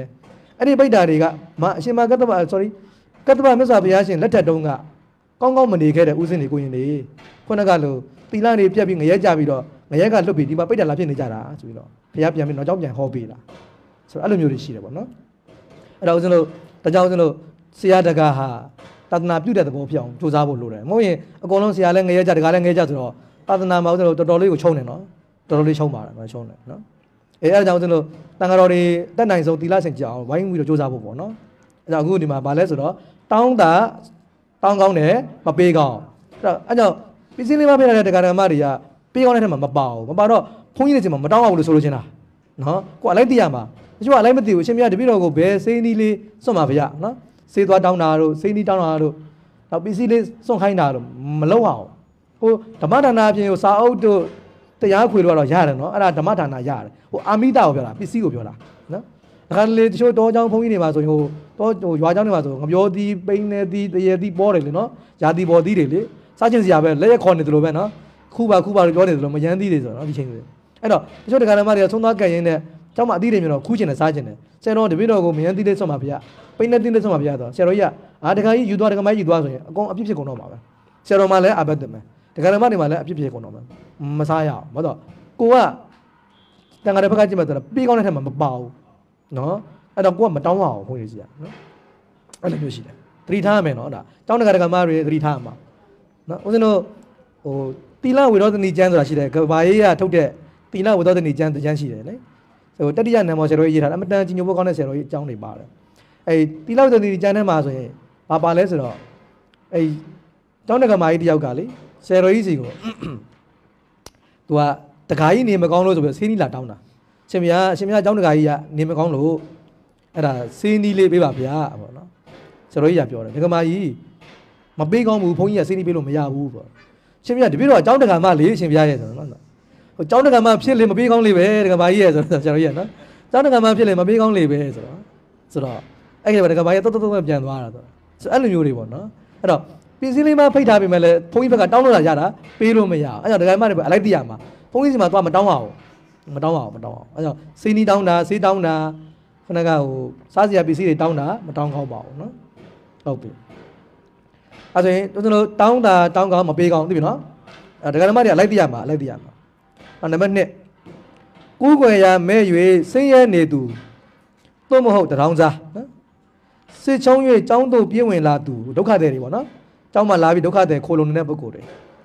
စားနဲ့ရိတ်ခါမပါတော့ခကြီးသွားဧည့်တယ်တခါတလေခကြီးသွားရင် ရိတ်ခါပြတ်သွားလို့လမ်းစိတ်ပြတ်သွားလို့ကြောင်းမှလာပြီးတော့အလူခံတာမျိုးလေမေတ္တာရခံတာမျိုးရှိတယ်ဤသို့သောလူဝိကြောင်တို့အားမိမိပိုင်ပစ္စည်းကိုပေးတာပေးကောင်း၍မိမိကမတောင်းကောင်းတော့မတောင်းကောင်းအလူမခံကောင်းပါတဲ့ဆိုတာကကြောင်းကိုဒုက္ခရောက်နေတဲ့ဒုက္ခသည်တွေပေါ့နော်အဲနောက်တစ်ခါခုနသရောင်းစားတွေကြောင်းမှလာတောင်းစားရတယ်ပေါ့အဲသူတို့စီကကိုကဘာမှတောင်းလို့မရဘူးပေးလို့ပဲရတယ်နော်သူတို့ကပေးလို့ရတယ်စွန့်ကောင်းတယ်ပေါ့ကြောင်းမှလာပြီးဒုက္ခရောက်လို့အကူညီလာတောင်းတယ်စွန့်လို့ရတယ် အဲ့တော့ဒီမှာမပါဏာကပါလဲဆိုတော့မင်းဆိုးရာဇာတွေမပါဘူးထည့်လိုက်ပါဦးနဲ့တော့တခိုးတမြမင်းဆိုးရာဇာထည့်လိုက်ပါဦးနော်နံပါတ်1ထည့်ပါလေတခိုးတမြမင်းဆိုးရာဇာတွေကလည်းပဲဦးဇင်းတို့ပေးကောင်းတယ်မတောင်းကောင်းတယ်မှာပါတယ်တခိုးတွေတမြတွေတဘုံတွေပေါ့နော်မင်းဆိုးရာဇာတွေ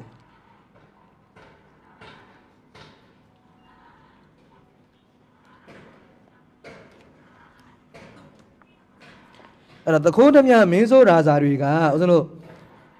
ပေးလို့ရတယ် တောင်းလို့မရဘူးဒါတောင်းလို့မရဆိုတာပစ္စည်းတွေမှမဖိတ်မဖိတ်ရတယ်ပြောတာလေအကင်းသူတို့ကလည်းအစိုးရကလည်းဟိုပစ္စည်းတွေမှဖိတ်ရတယ်ဆိုတော့တောင်းလို့ရတာပေါ့အစိုးရကိုလည်းလေအဲအစိုးရကပစ္စည်းတွေမှမဖိတ်ထားရင်တော့မတောင်းကောင်းဘူးပေါ့အဲ့တော့အစိုးရကဘာဖြစ်လို့ပေးကောင်းတဲ့ထက်ပါသွားသလဲဆိုတော့အစိုးရဆိုတာကအာဏာရှိတယ်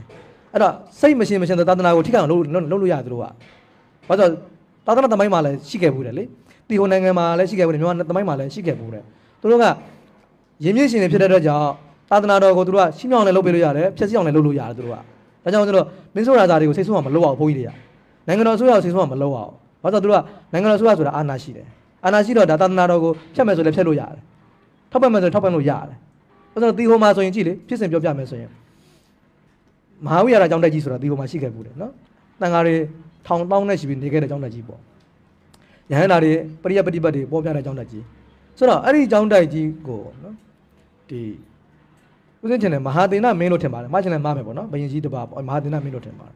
အဲ့ဒီမင်းလက်ထက်မှာ तू က तू ကိုးကွယ်မိတဲ့ဆရာတော်က तू က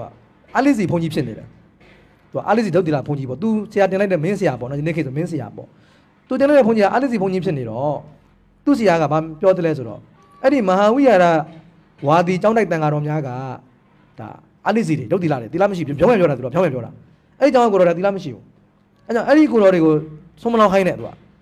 နိုင်ငံတော်အမိန့်ထုတ်ခိုင်းတာသူကနိုင်ငံတော်အမိန့်ထုတ်ခိုင်းတာနော်အဲ့ဒီမဟာဝိဟာရဝါဒီကျောင်းတိုက်တန်ဃာတော်များကိုဆုံးမလောင်းရအဲ့လိုမျိုးအဲ့လိုမိန့်ထုတ်ခိုင်းတာသူကအဲ့တော့ဘယင်ကလည်းသူ့ဆရာပြောတဲ့အတိုင်းသူအမိန့်ထုတ်တာသူကအဲ့ဒီကျောင်းကတန်ဃာတွေကိုလုံးဝဆုံးမလောင်းရအောင်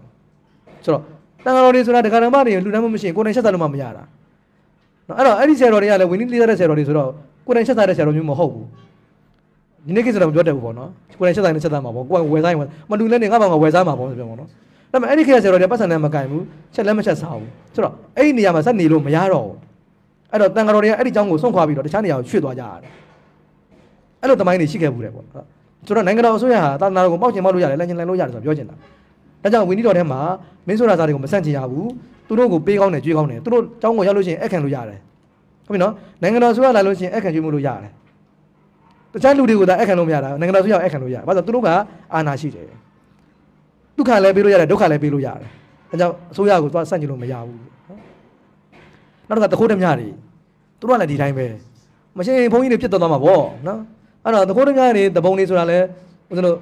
ဒါစိတ်မရှင်းမရှင်းသလိုတတ်သွားနိုင်တယ်ဖြတ်သွားနိုင်တယ်မိတွေအကြောင်းကိုမိရှုသွားလို့ရတယ်အဲကြောင့်သာသနာတော်ထိခိုက်သွားနိုင်တဲ့ကြောင့်သူတို့ကလည်းကျွေးမွေးလို့ရတယ်အဲ့တော့မဟာကရုံဆရာတော်ကနောက်တစ်ယောက်ထပ်ထည့်တယ်ဆရာတော်ကတချို့ဂျစ်ကန်ကန်ပုံကိုယ်တွေပေါ့တချို့ကဘုန်းကြီးเจ้าကိုလာတောင်းတယ်ရှင်မရတို့တော့ကျွေးပါဗျာ မကြွေးရင်ဘုန်းကြီးကိုတတ်မှတ်တိုင်းပဲသွားအဲ့ဒီပုဂ္ဂိုလ်လည်းတပြားထဲမှာထဲတဲ့ဆရာတော်ကြီးမာကရဆရာတော်ကြီးကအဲ့လိုမျိုးဂျစ်ကန်ကန်တချို့ဘုန်းကြီးကိုဆိုတော့ဟိုမကြွေးရင်မပေးရင်အန္တရာယ်ပြုတ်နိုင်တယ်ဆိုတဲ့ပုဂ္ဂိုလ်တွေကိုလည်းပဲတခိုးတည်းများထဲမှာထည့်ပါဆိုပြီးဆရာတော်ကြီးကအဲ့ဒီပုဂ္ဂိုလ်လည်းထည့်ခိုင်းတယ်လို့ဆိုပြအဲ့တော့ဒါတွေဝင်းနီးနားလဲတော့တဘုန်းကြီးကိုပြောလို့ရတယ်ရှင်ပြကြွေးမလားမကြွေးဘူးလားပြောမကြွေးရင်ရှင်ပြကိုအကြောင်းမီးချိုးလိုက်မယ်ပေါ့အဲ့လိုဆိုရင်တော့ဘုန်းကြီးတွေကြွေးရတော့မှာပေါ့နော်တခိုးတည်းများထဲပါသွားမှာတခါရဲထုံနော် အရှင်ဘုရားတပည့်တော်ဒါလေးစားကြတယ်မပေးဘူးလားပေးမလားပြောမပေးရင်အရှင်ဘုရားအကြောင်းမီးချုံမယ်ပေါ့နော်ဆိုတော့မာကနောင်ဆရာတော်ကြီးကတော့အဲ့ဒီတယောက်ထဲထဲပေးထားတယ်အဲ့ဒီဆိုတာကတန်ခါတော်ကိုအနောက်ရှက်ပေးနိုင်တယ်ဒုက္ခပေးနိုင်တယ်ဆိုရင်တော့အဲတခွန်းတည်းမြပဲအဲသူတို့ကိုကျွေးလို့ရတယ်ပေးကမ်းလို့ရတယ်ပေါ့နော်အဲ့လိုမျိုးပြောပါတယ်အဲ့တော့ခုနကပြန်ပြောမယ်ဆိုရင်ပေးလို့ရတာအဲ့လိုခုနကဒုက္ခသည်တွေပေးလို့ရတယ်အဲခကြီးသွားဧည့်သည်တွေပေးကောင်းတယ်စင်ရသားကိုအเจ้าမှာလာပြီးတော့အကူညီတောင်းတဲ့ပုဂ္ဂိုလ်တွေပေးကောင်းပါတယ်နော် နောက်မင်းဆိုတာဇာတွေတခွန်းတပြားတွေပေါ့နော်တော့ပြီးကတ်နေတဲ့လူတွေအဲ့ဒါမျိုးကြောင့်ဘယ်လိုဖြစ်ပြီးဒီလိုပြီးလို့ရဘာတူကမှရောဒီလိုပြီးလို့ရကဲမိခွန်းလေးမေးလိုက်ပါကောင်မိုင်းနဲ့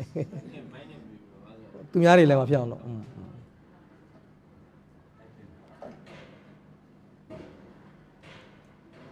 ကိုးကွယ်ရ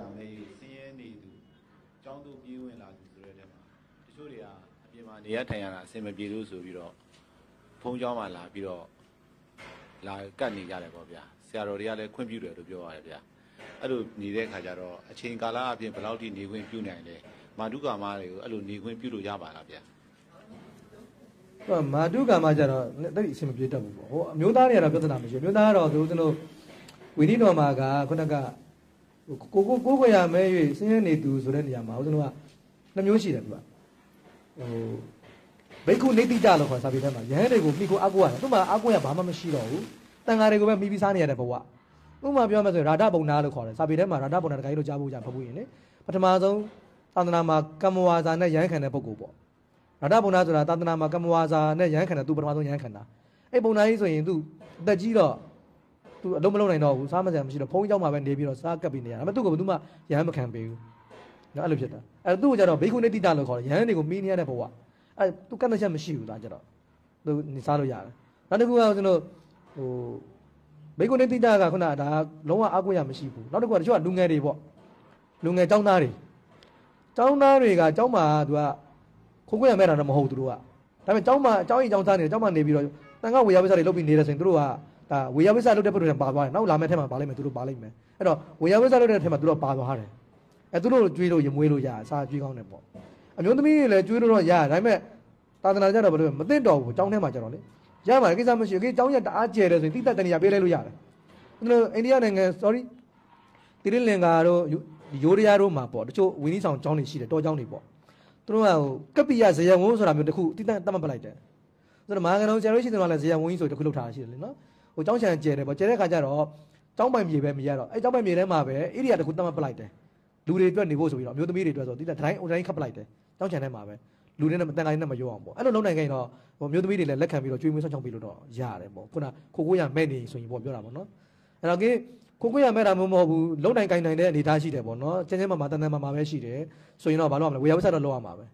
ဝေယဝိဇ္ဇလုပ်တယ်ဆိုတော့သူတို့ဝေယဝိဇ္ဇကိုပေးကောင်းတယ်ဆိုတာဆက်ပါတော့ပါလိုက်မယ်လေနော်အဲ့တော့သူတို့ကအကြောင်းဟိုเจ้าမှာတန်ဃာတွေကြီးညိုလို့လာနေတယ်အဲ့ဆိုရင်တော့သူ့ကိုကျွေးမွေးခြင်းတယ်ဆိုရင်တော့သူဒီတန်ဃာဝေယဝိဇ္ဇလောက်အောင်ပကံစေးတာတို့တပြည့်စီလဲတာတို့ တောင်းတဲ့ဝေယဝိဇ္ဇတစ်ခုခုသူလောက်ရတော့မှာပေါ့နော်အဲ့လိုဆိုရင်တော့အမျိုးသားဖြစ်တယ်အမျိုးသမီးတွေကျွေးကောင်းပါတယ်အဲ့တော့အမျိုးသမီးကတော့နည်းနည်းတန်ဃာတွေနဲ့ထိစပ်မှုများရင်အန်တရယ်ရှိတော့ခက်ကွင်းကွင်းလေးနေလို့ရအောင်စီမံပေးနိုင်ဖို့တော့လိုတာပေါ့နော်ဟိုတန်ဃာမြင်ကွင်းကြီးမှာတော့ဖြစ်နေမကောင်းဘူးလေနော်မျက်စိတမြင်ကြီးဖြစ်နေလို့ရှိရင်တော့ဒါဝိတဘာကအာယုံဆိုတော့မကောင်းတတ်ဘူးပေါ့အဲကြောင့်တောင်းကျဲကျဲမယ်တိတန်ဩဒရာကြီးအမြင်ခတ်ပြီးတော့ထားမယ်ဆိုရင်တော့ပိုကောင်းတယ်ပေါ့နော်သူကသူသူ့ချံဝင်နဲ့သူနေပါစေပေါ့အဲဝေယဝိဇ္ဇလုံးမဲ့ချင်းချလာလုပ်ပေါ့နော်ဆွတ်ချက်တာတို့အဲခုနပကံစေးတာတို့လာလုပ်ပေးပေါ့ တပည့်တော်မေးကြည့်တော့သူကညဘက်ကိုလည်းကလေးတွေကိုစာတင်စာစာပြပေးတယ်တဲ့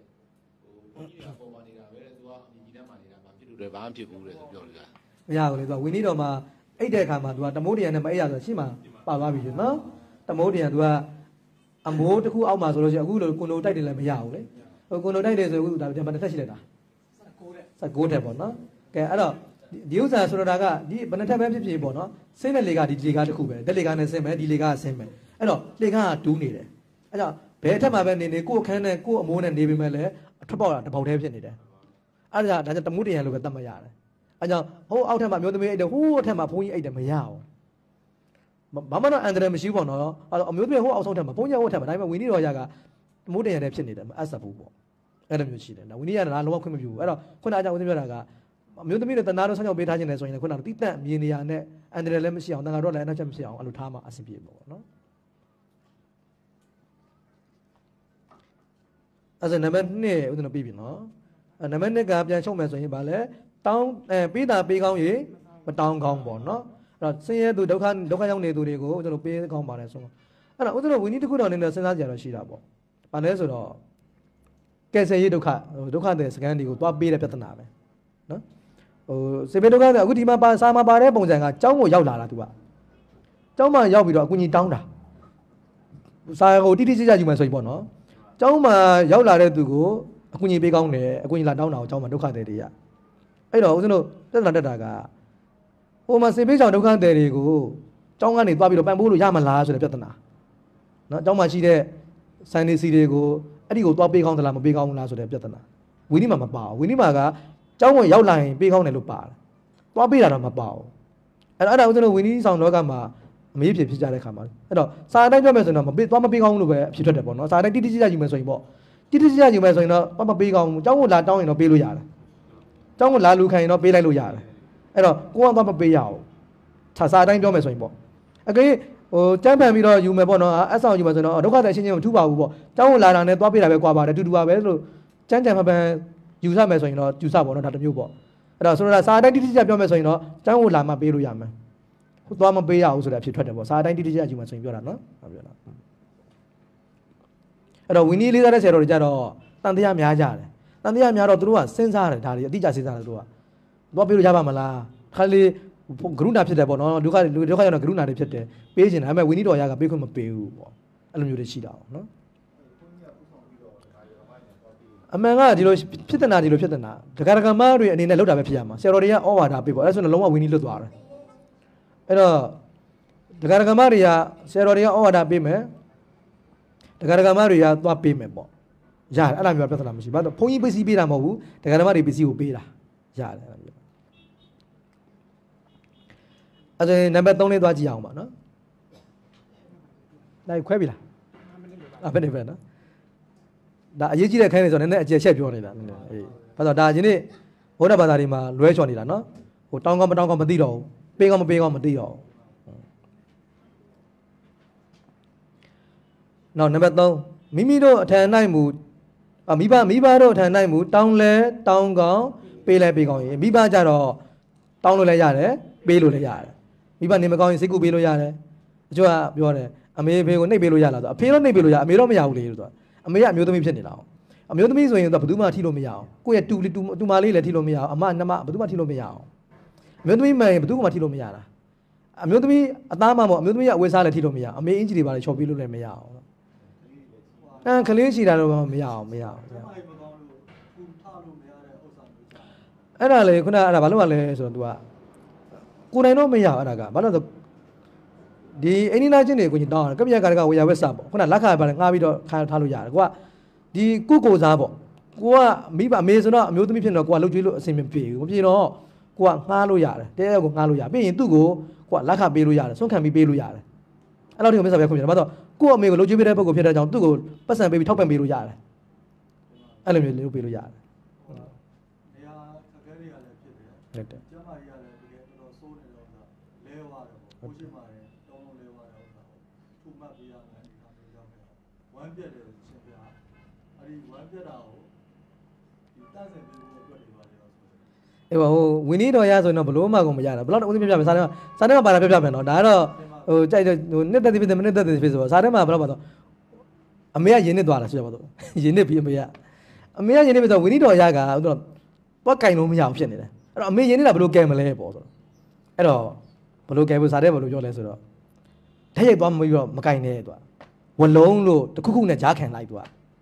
စားတယ်အဲ့လောက်တော့စားစားတယ်မှာတော့ခွင့်ပြုပေးထားတယ်သူကအဲတခုခုတော့ရားခံပေးလိုက်ပါပေါ့တည့်ရကြီးတော့သွားမကင်နဲ့သူကအဲ့လိုမျိုးစားတယ်မှာခဏသူကအမျိုးသမီးကိုသူက ဝီဝီချောင်စီချင်းလို့ပြောတာသူကအမေတော်မရဘူးလို့စကားကုန်ပြောပလိုက်တယ်သူကပြောချင်တာတော့အဲဆိုတခြားသူဆိုပြောမနေနဲ့ဆိုတော့ဘောပြောချင်တာအဓိကတော့တိလားအဲကြောင့်သူကအမေရင်းနေခင်အောင်မှသူကတည့်ရသွားမကင်နဲ့ဝလုံးလို့ပါလို့ဂျားခံတခုထားပြီးတော့ကဲသူကအဲ့လိုမျိုးသွားတာသူကနော်စားတယ်မှာအဲ့လိုမျိုးပေါ့အေးအေးအေးအဲ့တော့ဦးဇင်းတို့ကတော့စားတဲ့မပိုင်းနဲ့ပြောတာပေါ့နော်ရုပ်တိရှိမရှိသိတော့မသိတော့ဖြစ်သိဖြစ်နေတာဒါတော့ဦးဇင်းနဲ့တော့မဆိုင်ဘူးဒါဦးဇင်းတို့ကစားကိုကြော်ပြီးပြောခွင့်မရှိဘူးလေနော် ဦးဇင်းတို့ကစားကိုကြော်ပြီးပြောလောက်အောင်လဲအဲ့လောက်ထိမဟောမဖြစ်ဘူးပေါ့အဲကြောင့်စားတဲ့မှာဒီလိုတော့ပြောတယ်တိုင်းနာနိုင်မလားနိုင်နိုင်ကျင့်ကျင့်မကျင့်ဒါတော့ဦးဇင်းတို့အပိုင်းမဟုတ်တော့ဘူးပေါ့နော်ဦးဇင်းတို့ကစားတဲ့ဘာနဲ့ပြောဖို့တောင်းပဲရှိတာဘာလို့ဦးဇင်းတို့သာသနာမှာအရေးကြီးတာအခုဒီကုန်းနဲ့နဲ့ချုပ်လိုက်မယ်စားမဆုံးဘူးသူကအရေးကြီးတဲ့ချက်ကဘာလဲဆိုတော့ဦးဇင်းတို့လူတွေကောဘုန်းကြီးတွေကောပေါ့အဓမ္မဓမ္မောတိဒီပေတိဆိုတာအဓမ္မကိုဓမ္မလို့ပြောရင်မဟုံအပုံညာပတ္တဝတိဆိုတာအကုသို့အရန်ကြီးတယ်နော် အဓမ္မကိုဓမ္မလို့ပြောတယ်အမှားကိုအမှန်မှန်လို့ပြောရင်အကုအပြစ်အရန်ကြီးတယ်နောက်တတ္တမံအန္တရဓာပေတိသာသနာကိုလည်းကွဲအောင်ကွဲစေတယ်သာသနာကွဲအောင်လုပ်တာအဲ့လိုဖြောင်းပြန်လာလိုက်ဓမ္မအဓမ္မောတိဒီပေတိဆိုတာဓမ္မကိုအဓမ္မလို့ပြောရင်အမှန်ကိုအမှားလို့ပြောရင်အမှန်တရားဒါဆိုတော့ဝိနည်းတော်နဲ့ဒါမအပ်ဆက်ဘူးမအပ်ဆက်တာကိုအပ်ဆက်ပါတယ်လို့သွားပြောရင်အဲ့ဒါသာသနာကွယ်သာသနာဖြတ်တာပဲအကုသို့အရင်ကြည့်တယ်အဲ့တော့မအပ်တာကိုအပ်တယ်လို့ပြောရင်သာသနာကွယ်အောင်လုပ်တာ အပ်ပါရဲ့တန်းနဲ့မအပ်ဘူးပြောရင်လည်းသာသနာကွယ်လုပ်တာအဲကြောင့်ဦးဇင်းတို့ကစာထက်ပို့ပြီးပြောလို့မရဘူးစာထက်မှာတော့ဒီလိုပြောပါတယ်လို့ပဲဦးဇင်းတို့ပြောလို့ရတယ်အဲလိုက်နာတာမလိုက်နာတာယုံနာမယုံနာတော့ဦးဇင်းတို့နဲ့မဆိုင်တော့ဘူးလေအဲ့တော့အေးဒီစာထဲမှာတော့အပ်တယ်ပြောတယ်မအပ်ဘူးပြောတယ်ဒီလိုပဲပြောတယ်အဲ့လိုပြောလို့ရတယ်နော်အခုလည်းအဲ့လိုပြောပြတာပါအဲကြောင့်ဆိုတော့ဘောင်လုံးလုံးမဖြစ်ဘူးစကားပြောတာအရင်အန်ဂျယ်များပါတယ်နော်အေးအေးမေးဖို့ရှိသေးလားအေးမေးပါတကယ်ရှိတော့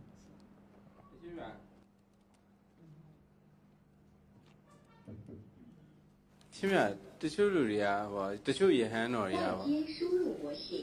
အရှင်မတချို့ယဟန်တော်တွေကဟိုမိဘအဲ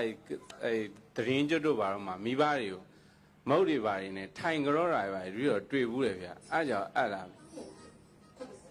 အဲ့တော့ယဟန်တော်တွေမရှိခိုးပေါင်းတဲ့ပုံက25ယောက်ရှိတယ်ဒီထဲမှာတော့မပါတော့ဘူးအဲ့ဟာတော့နော်ဦးစင်းရေးတဲ့စာအုပ်တွေမှာတော့ပါပါတယ်ဟိုရဟန်းတော်တွေမရှိခေါင်းတဲ့ပုံ25ယောက်ထဲမှာအနုပတံပန္နလို့ပါလူကိုမရှိခေါင်းဆိုတာပါတယ် တင်ပါဗျဟုတ်မာတုကာမကိုလည်းလုံးဝမရှိခိုးကောင်းပါတယ်သူကနော်အဲ့တော့အမျိုးသမီးကိုလည်းလုံးဝမရှိခိုးရဘူးနောက်လူကိုလည်းမရှိခိုးရအောင်ဒါရိုက်ပါပြီးသားအဲ့တော့ရှိခိုးရင်သူကအဘတ်တယ်နဲ့ပေါ့ဟုတ်တော့ကိုကယဟန်လေယဟန်ဆိုတော့တေရဓမ္မတိပညာအပြင်အများကြီးကြီးမြတ်သွားတင်ပါဗျအဲ့တော့လူကိုရှိခိုးစရာမလိုဘူးပေါ့နော်ပြီးတော့ရှင်ဗျတပြီးတော့မိုးကုတ်ကိုသွားလဲတော့ဒေါ်နန်းကြီးတောင်ဆိုတာရှိရဗျအဲ့ဒေါ်နန်းကြီးတောင်မှာတပြီးတော့ဖုန်းကြီးတစ်ပါးကတပြီးတော့လက်ဖက်တွေကျွေးရဗျတပြီးတော့လည်းစားရဗျ အဲ့ကြောင့်တပြီးတော့အာကုတုဖြစ်လာဗျယဟန်မပေးကောင်းဆိုတော့တပြီးတော့မပေးမပေးကောင်းတဲ့လူတွေမှာတပြီးတော့ပါရပေါ့မပြောရပါဘူးအဲ့တော့ဝေယဝိဇ္ဇလောက်ရတာကျွန်တော်ပြလားအဲ့တော့ကိုကလိုက်တည်ရတာဆရာတော်တွေကအကေကိုကိုခင်လို့မှလို့ပေးတယ်ဆိုရင်ပေါ့နော်ကိုကချက်ချင်းမစားနဲ့အောင်ဝေယဝိဇ္ဇလောက်လိုက်ခုဒီစေးတာတို့ဒီပက်စီလဲတာတို့တခုခုအမိုက်ကောက်တာတို့တခုခုလွတ်လိုက်ပြီးမှစားလိုက်လို့ရှိရင်အဆင်ပြေတယ်အဲတင်ပါ ညောင်းမြတ်ကျော်တော်စကားတခုနည်းနည်းပြောလိုက်မယ်ပေါ့နော်တင်ပါအဲ့တော့ညောင်းမြတ်ကျော်တော်ကြီးကဘာပြောဖို့လဲဆိုတော့ပြီးသူယူသူမှာဘယ်သူပြည့်ရှိတယ်လဲဆိုတဲ့ကိစ္စပေါ့ဟုတ်အဲ့တော့ညောင်းမြတ်ကျော်တော်ကြီးကဘာပြောတယ်လဲဆိုတော့ပေးတဲ့သူမှာအပြစ်ရှိတယ်ဆိုပြီးပြောတယ်ယူတဲ့သူကမဆိုင်ဘူးတဲ့ကျွန်တော်ဘာလို့ဒီဝီနီးကမပေးကောင်းဆိုတော့ရဟန်းတော်ကိုပြညတ်တာလူတွေကိုပြညတ်တာမဟုတ်ဘူးပေါ့အဲ့တော့ဘုန်းကြီးမှာပဲအာဘတ်တဲ့တယ်ဟိုမှာတန်ကြီးကပစ္စည်းတစ်ခုအဲ့ဒါကိုဘုန်းကြီးကပိုင်ဆုံးပိုင်နေတဲ့ကိုခင်တဲ့တခါကြီးတခါမကြီးကိုပေးပလိုက်တယ်အဲ့တော့ပေးလိုက်တဲ့ဘုန်းကြီးမှာပဲအကုသိုလ်ဖြစ်သွားတယ်ပေါ့ဒီလိုမျိုးတော့ပြောတယ်နော်အဲ့လိုပြောတယ် အဲ့တော့မြတ်စွာဘုရားပြောတာပါအဲ့မြတ်စွာဘုရားကြီးပြောတာတော့ပေးသူပြစ်ရှိတယ်ယူသူကတော့မဆိုင်ဘူးပေါ့လို့ပြောပါ ဟောတင်ပါဗျကျေးဇူးပါမေယုံမလားမသိမေကုံမေယုံမလားမသိဘူး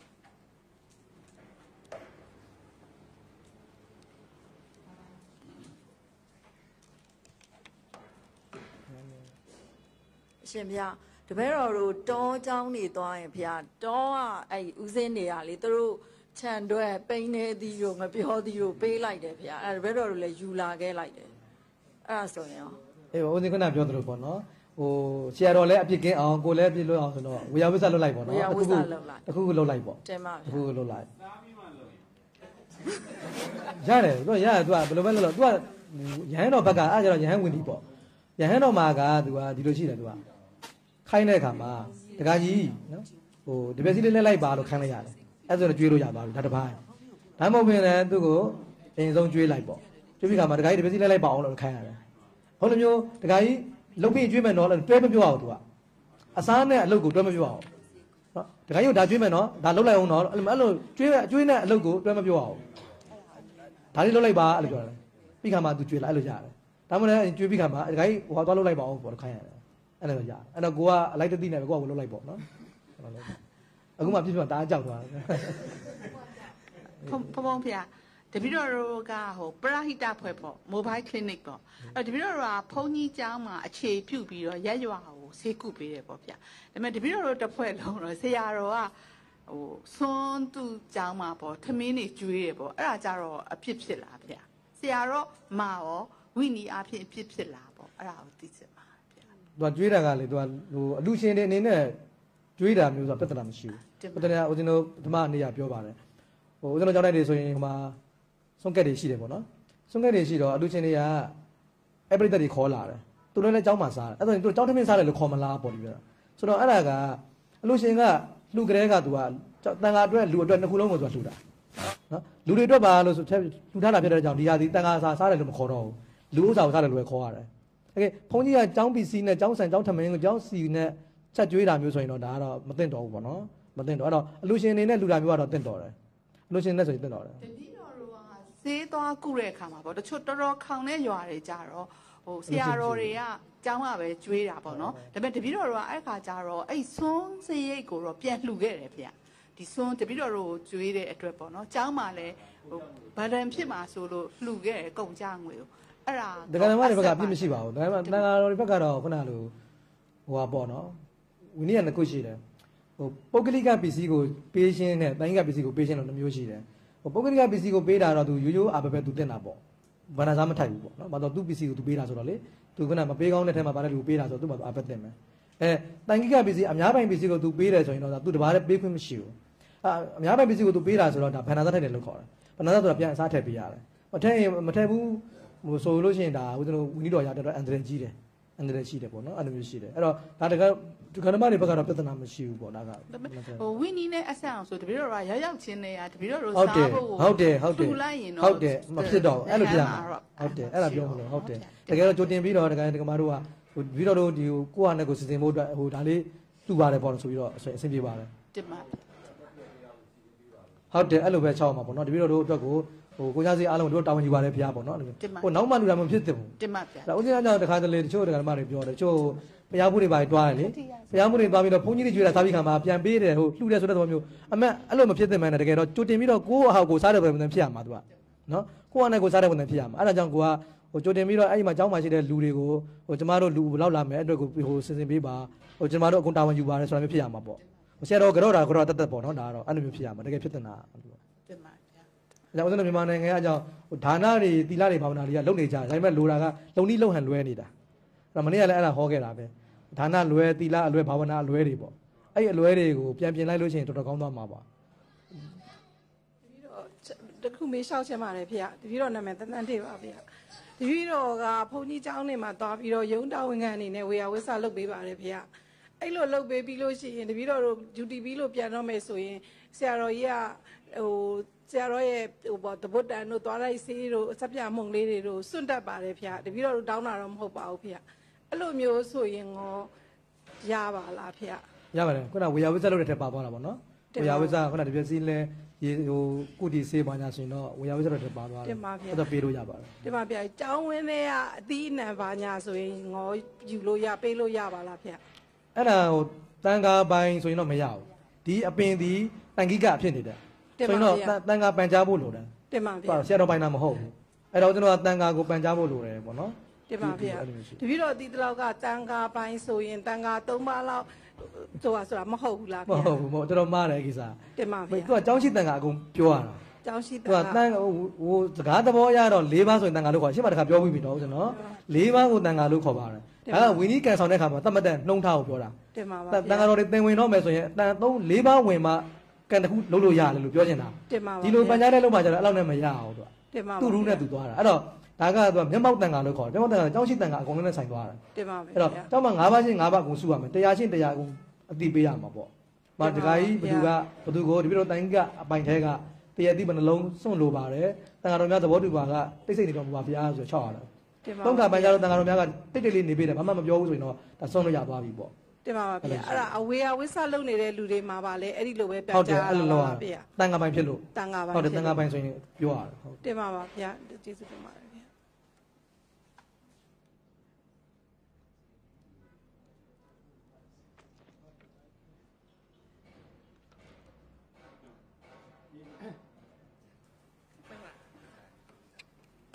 ရှင်ပြတစ်ခုရှိရလေရွေးတော်တို့တခါလေးကြာရင်အလှဝဲပစ္စည်းတွေကို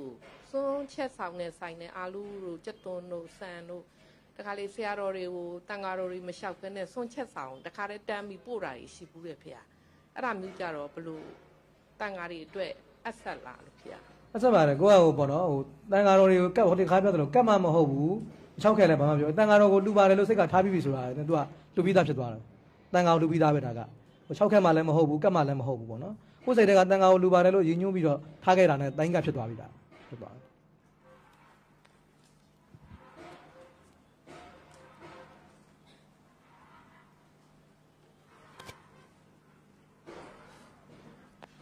ဟယ်လိုဟယ်လိုရှင်ပြဟိုဟာဒီကြောင်းတိုက်ပိုင်လေတန်ခါပိုင်တတိတွေပေါ့ကြွေကြနေတယ်အဲ့လိုကောက်သွားတယ်ဆိုရင်တော့ဗျဘန္နာစားထိုက်တာထိုက်တာပေါ့သူကတန်ခါပိုင်းဆိုရင်တော့ထိုက်တယ်သူကဘန္နာသားပြန်ပေးရမှာပေါ့သူဘန္နာသားရဲ့သဘောတရားက အဲ့ဒီ PC နဲ့အလားတူ PC ကိုဖြစ်စေသူ့ရဲ့တန်ဖိုးကိုဖြစ်စေတခုတော့ပြန်ပေးရပါပေါ့နော်ရှင်ပြဟိုဟာဒီနောက်တစ်ခုကအခုရှင်ပြတို့လိုကြောင်းတိုက်ကြီးတွေမှာဒီစေးလာကူဝေးတဲ့ဆရာဝန်ဒေါက်တာတွေခုတန်ခါတော်ဒီကူကမှာဆိုတော့ပရက်ကာနိုင်တာတို့ဘာလို့ဆိုရင်ဒီထိရတော့ပဲလေဆရာဝန်မတွေဆိုတော့အဲ့လိုကြတော့လက်တွေဘာတွေစွတ်ပြီးဘလို့ဒီတဲ့ဟိုဖြစ်ရင်အဲ့အဲ့လည်းဗျအမှန်တော့သူကကာယတန်တက်ကတိခါဖို့ခေါ်ပါတယ်သူကအဲ့ဒီကအဲ့ဒီဟာလည်းဒီထဲမှာတော့ပါမယ်တခန်းပါမှာပေါ့နော်အမျိုးသမီး မထီကောင်းဆိုတဲ့အခန်းတခန်းလည်းရှိမယ်ပေါ့ဆိုတော့သူကဝိနည်းတော်ရကသူကအင်္ဂါ၃ချက်ဟိုတာယာနံပါတ်၁ကရာဂစိတ်ပါရမယ်ပေါ့နော်အတွေ့အထိကိုအတွေ့အထိကိုတာယာတဲ့စိတ်ပါရမယ်နောက်အဲ့ဒီစိတ်နဲ့လည်းထိဖို့သူစူးစမ်းရမယ်ထိလည်းထိရမယ်၃ချက်သူကဘုန်းကြီးကစူးစမ်းတာနော်သူကရာဂစိတ်ဒီထိတာကိုတာယာခြင်းတဲ့စိတ်တခြားစိတ်မဟုတ်ဘူးဒီတိထိရတာကိုတာရတဲ့စိတ်လေးပါရမယ်။တော့ထိအောင်လည်းသူတစ်ခုခုလုံးမစူးစမ်းမယ်ပေါ့။လမ်းလျှောက်မယ်လက်လှမ်းလိုက်မယ်ခန္ဓာကိုယ်နည်းနည်းလှုပ်လိုက်မယ် အဲလိုစူးစမ်းမှုတစ်ခုခုပါရမယ်။နောက်နံပါတ်3ကတော့ခုနကထိသွားမယ်ပေါ့။အဲ့ဒီသုံးချက်ညီသွားရင်သူအဘတ်တက်မယ်။အဲ့တော့အခုကကသူကသွားထိတာမဟုတ်ဘူး။ဆီယမကလာထိတာ။အဲ့တော့တာရတဲ့စိတ်မရှိရင်လည်းသူကရတယ်။နောက်တာရတဲ့စိတ်ဖြစ်သွားရင်တော့မှသူကမလုံနဲ့ငြိမ်ငြိမ်လေးနေ။အဲ့သူငြိမ်ငြိမ်လေးနေတဲ့အချိန်မှာဆီယမလာကင်တယ်လာပြီးတော့ပရက်ချာတိုင်းတယ်ဘာညာလုတ်တယ်ပေါ့နှစ်ဖူးတွေပါလာဆမ်းမယ်ပေါ့ဘုန်းငြိမ်ငြိမ်လေးနေတယ်မလုံနဲ့အကေလာထိနေတဲ့အချိန်မှာပေါ့နော်ဆီယမလာကင်ထားပြီးပြီထိနေပြီ အဲ့ဒီအချိန်မှာသူตายရသွားတယ်အဲ့ဒါကိုနည်းနည်းလေးသူตายရတဲ့စိတ်နဲ့လှုပ်လိုက်တာနဲ့အာပဲသိပြီ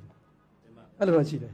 အဲ့ငြိမ်နေတော့သူရတယ်အဲ့ကြောင့်ဆရာတော်တွေကသူတတိပေးတယ်မလှုပ်နဲ့တော့မလှုပ်နဲ့တော့ငြိမ်ငြိမ်လေးဆိုပြောတာအဲ့ဒါနဲ့ဖြစ်နိုင်တော့ဆရာဝန်တွေဟိုအမျိုးသားဆိုရင်ပိုကောင်းတယ်ပေါ့သူနာမျိုးမျိုးသားဆိုပိုကောင်းတယ်မလွတ်သားမချောင်သားလို့ဆရာမတွေနဲ့ပြရမယ်ဆိုရင်လည်းညောင်းတော်တွေဘက်ကအဲ့လိုဝင်နေတော့ရှိတယ်သူကငြိမ်ငြိမ်လေးနေရင်တော့ရတယ်ငြိမ်လေးပြီးလုံးဝမသားဟိုလှုပ်ရတဲ့ခါမှလည်းမသားရင်လည်းဘာမှဖြစ်သေးဘူးဟိုမသားရတဲ့စိတ်ကဘာမှဟိုရားလို့ဖြစ်ဖြစ်ပေါ့နော် ဟိုညောင်းညာလို့ဖြစ်ဖြစ်လှုပ်လိုက်တယ်ပေါ့ရတယ်တာလို့မဟုတ်အခုကတာတဲ့စိတ်လည်းပါရမယ်ပယောဂလည်းပါရမယ်ထိလည်းထိရမယ်ဆိုတဲ့လက္ခဏာသုံးချက်ညီမဟုတ်သူကတင်ပါတင်ပါကျေးဇူးတင်ပါတယ်ဗျာ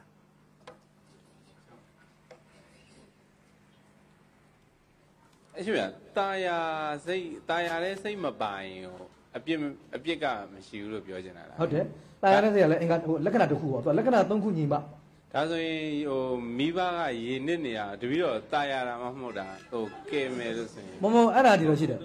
စကားနားမလဲခုနကသူကအမျိုးသမီးကြရင်သူကအနာမတာဝိထုလို့ခေါ်တယ်တာယာနေပြည့်စုံမယ်မထီကောင်းတဲ့နေရာမှာပါပါသူကအဲ့လိုမျိုးပြောတာခုနဟာကိုသွားသွားထိတာမဟုတ်လို့တော့လားမသိဘူးသူတန်ထိတာဖြစ်လို့ပြောတာအခုကခုနကဘုန်းကြီးကသွားထိမှဆိုရင်တော့အဘက်ကတော့တင့်နေပြီသူက ဩ ဘယ်လိုပဲဖြစ်ဖြစ်အဘက်တင့်နေပြီသူ တင်ပါ อืม တင်ပါ အခုကတော့သွားထိတာမဟုတ်ဘူးတဘောလားမသိဘူး တင်ပါတင်ပါ သူလာထိတာမဟုတ်လို့လွတ်သွားတာ တင်ပါတင်ပါတင်ပါ အေးအဲ့ဒီချက်ကိုလွတ်သွားတာသူက ကျေးဇူးပါ အေးအေးအေး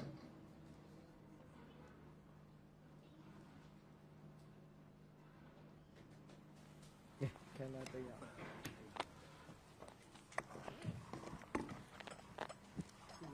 သံဃာတော်ရှေသူမြတ်ဖျာယနေ့ပြုခတ်သောကုသိုလ်ဝဝတွေကိုအမြပေးဝေပေးပါယံရိုသေလေးမြတ်စွာရှောင်းထားအပ်ပါသည်ဖျာအားလုံးလိုက်ဆိုအရှင်ဖေယာရှင်ဖေယဘုရားတပည့်တော်တို့သည်ဘုရားတပည့်တော်တို့သည်ဘုရားမြတ်စွာဤမြတ်စွာဤ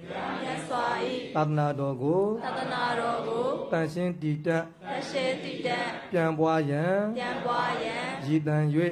မှန်၍၍ဤကပ္ပိယကာရကသင်္တန်းကိုဤကပ္ပိယကာရကသိဉ္တံကိုယိုသေးစွာယိုသေးစွာတက်ရောက်သင်ယူကြပါကုန်၏တရားသိယူကြပါကုန်၏အရှင်ဖျားရှင်ဖေယဤကုသိုလ်ကောင်းမှုသည်ဤကုသိုလ်ကောင်းမှုသည်နိဗ္ဗာန်ရောက်ကြောင်းနိဗ္ဗာန်ရောက်ကြောင်းထောက်ပံ့ကောင်းသည်အထောက်ပံ့ကောင်းသည် ဖြစ်ပါစေသာဖြစ်ပါစေသာအရှင်ဖျားရှင်ဖေယဤကုသိုလ်ဤဤကုသိုလ်ဤဘောဘာကကိုဘောဘာကကိုမိဘဆရာမိဘဆရာသံဃာတော်အပေါင်းသံဃာတော်ပေါင်းဘာယကာဒါယိကာမအပေါင်းအယကာတယေကမပေါင်းနတ်အပေါင်းနှင့်တကွာနတ်ပေါင်းနှင့်တကွာပတ္တဝဟုသမျှတို့အားတတဝဟုသမျှတို့အားမြတ်ပေးဝေကြပါကုန်၏မြတ်ပေးဝေကြပါကုန်၏မြတ်ရကြမြ၍တ်ရကြ ကျမ်းမာကြသည်၍ကျမ်းမာကြသည်ချမ်းသာကြသည်ချမ်းသာကြသည်ဝမ်းသာကြသည်ဝမ်းသာကြသည်ဖြစ်ကြပါစေသောဖြစ်ကြပါစေသောအာလုံးသာသာတမြအမြအမြအမြရော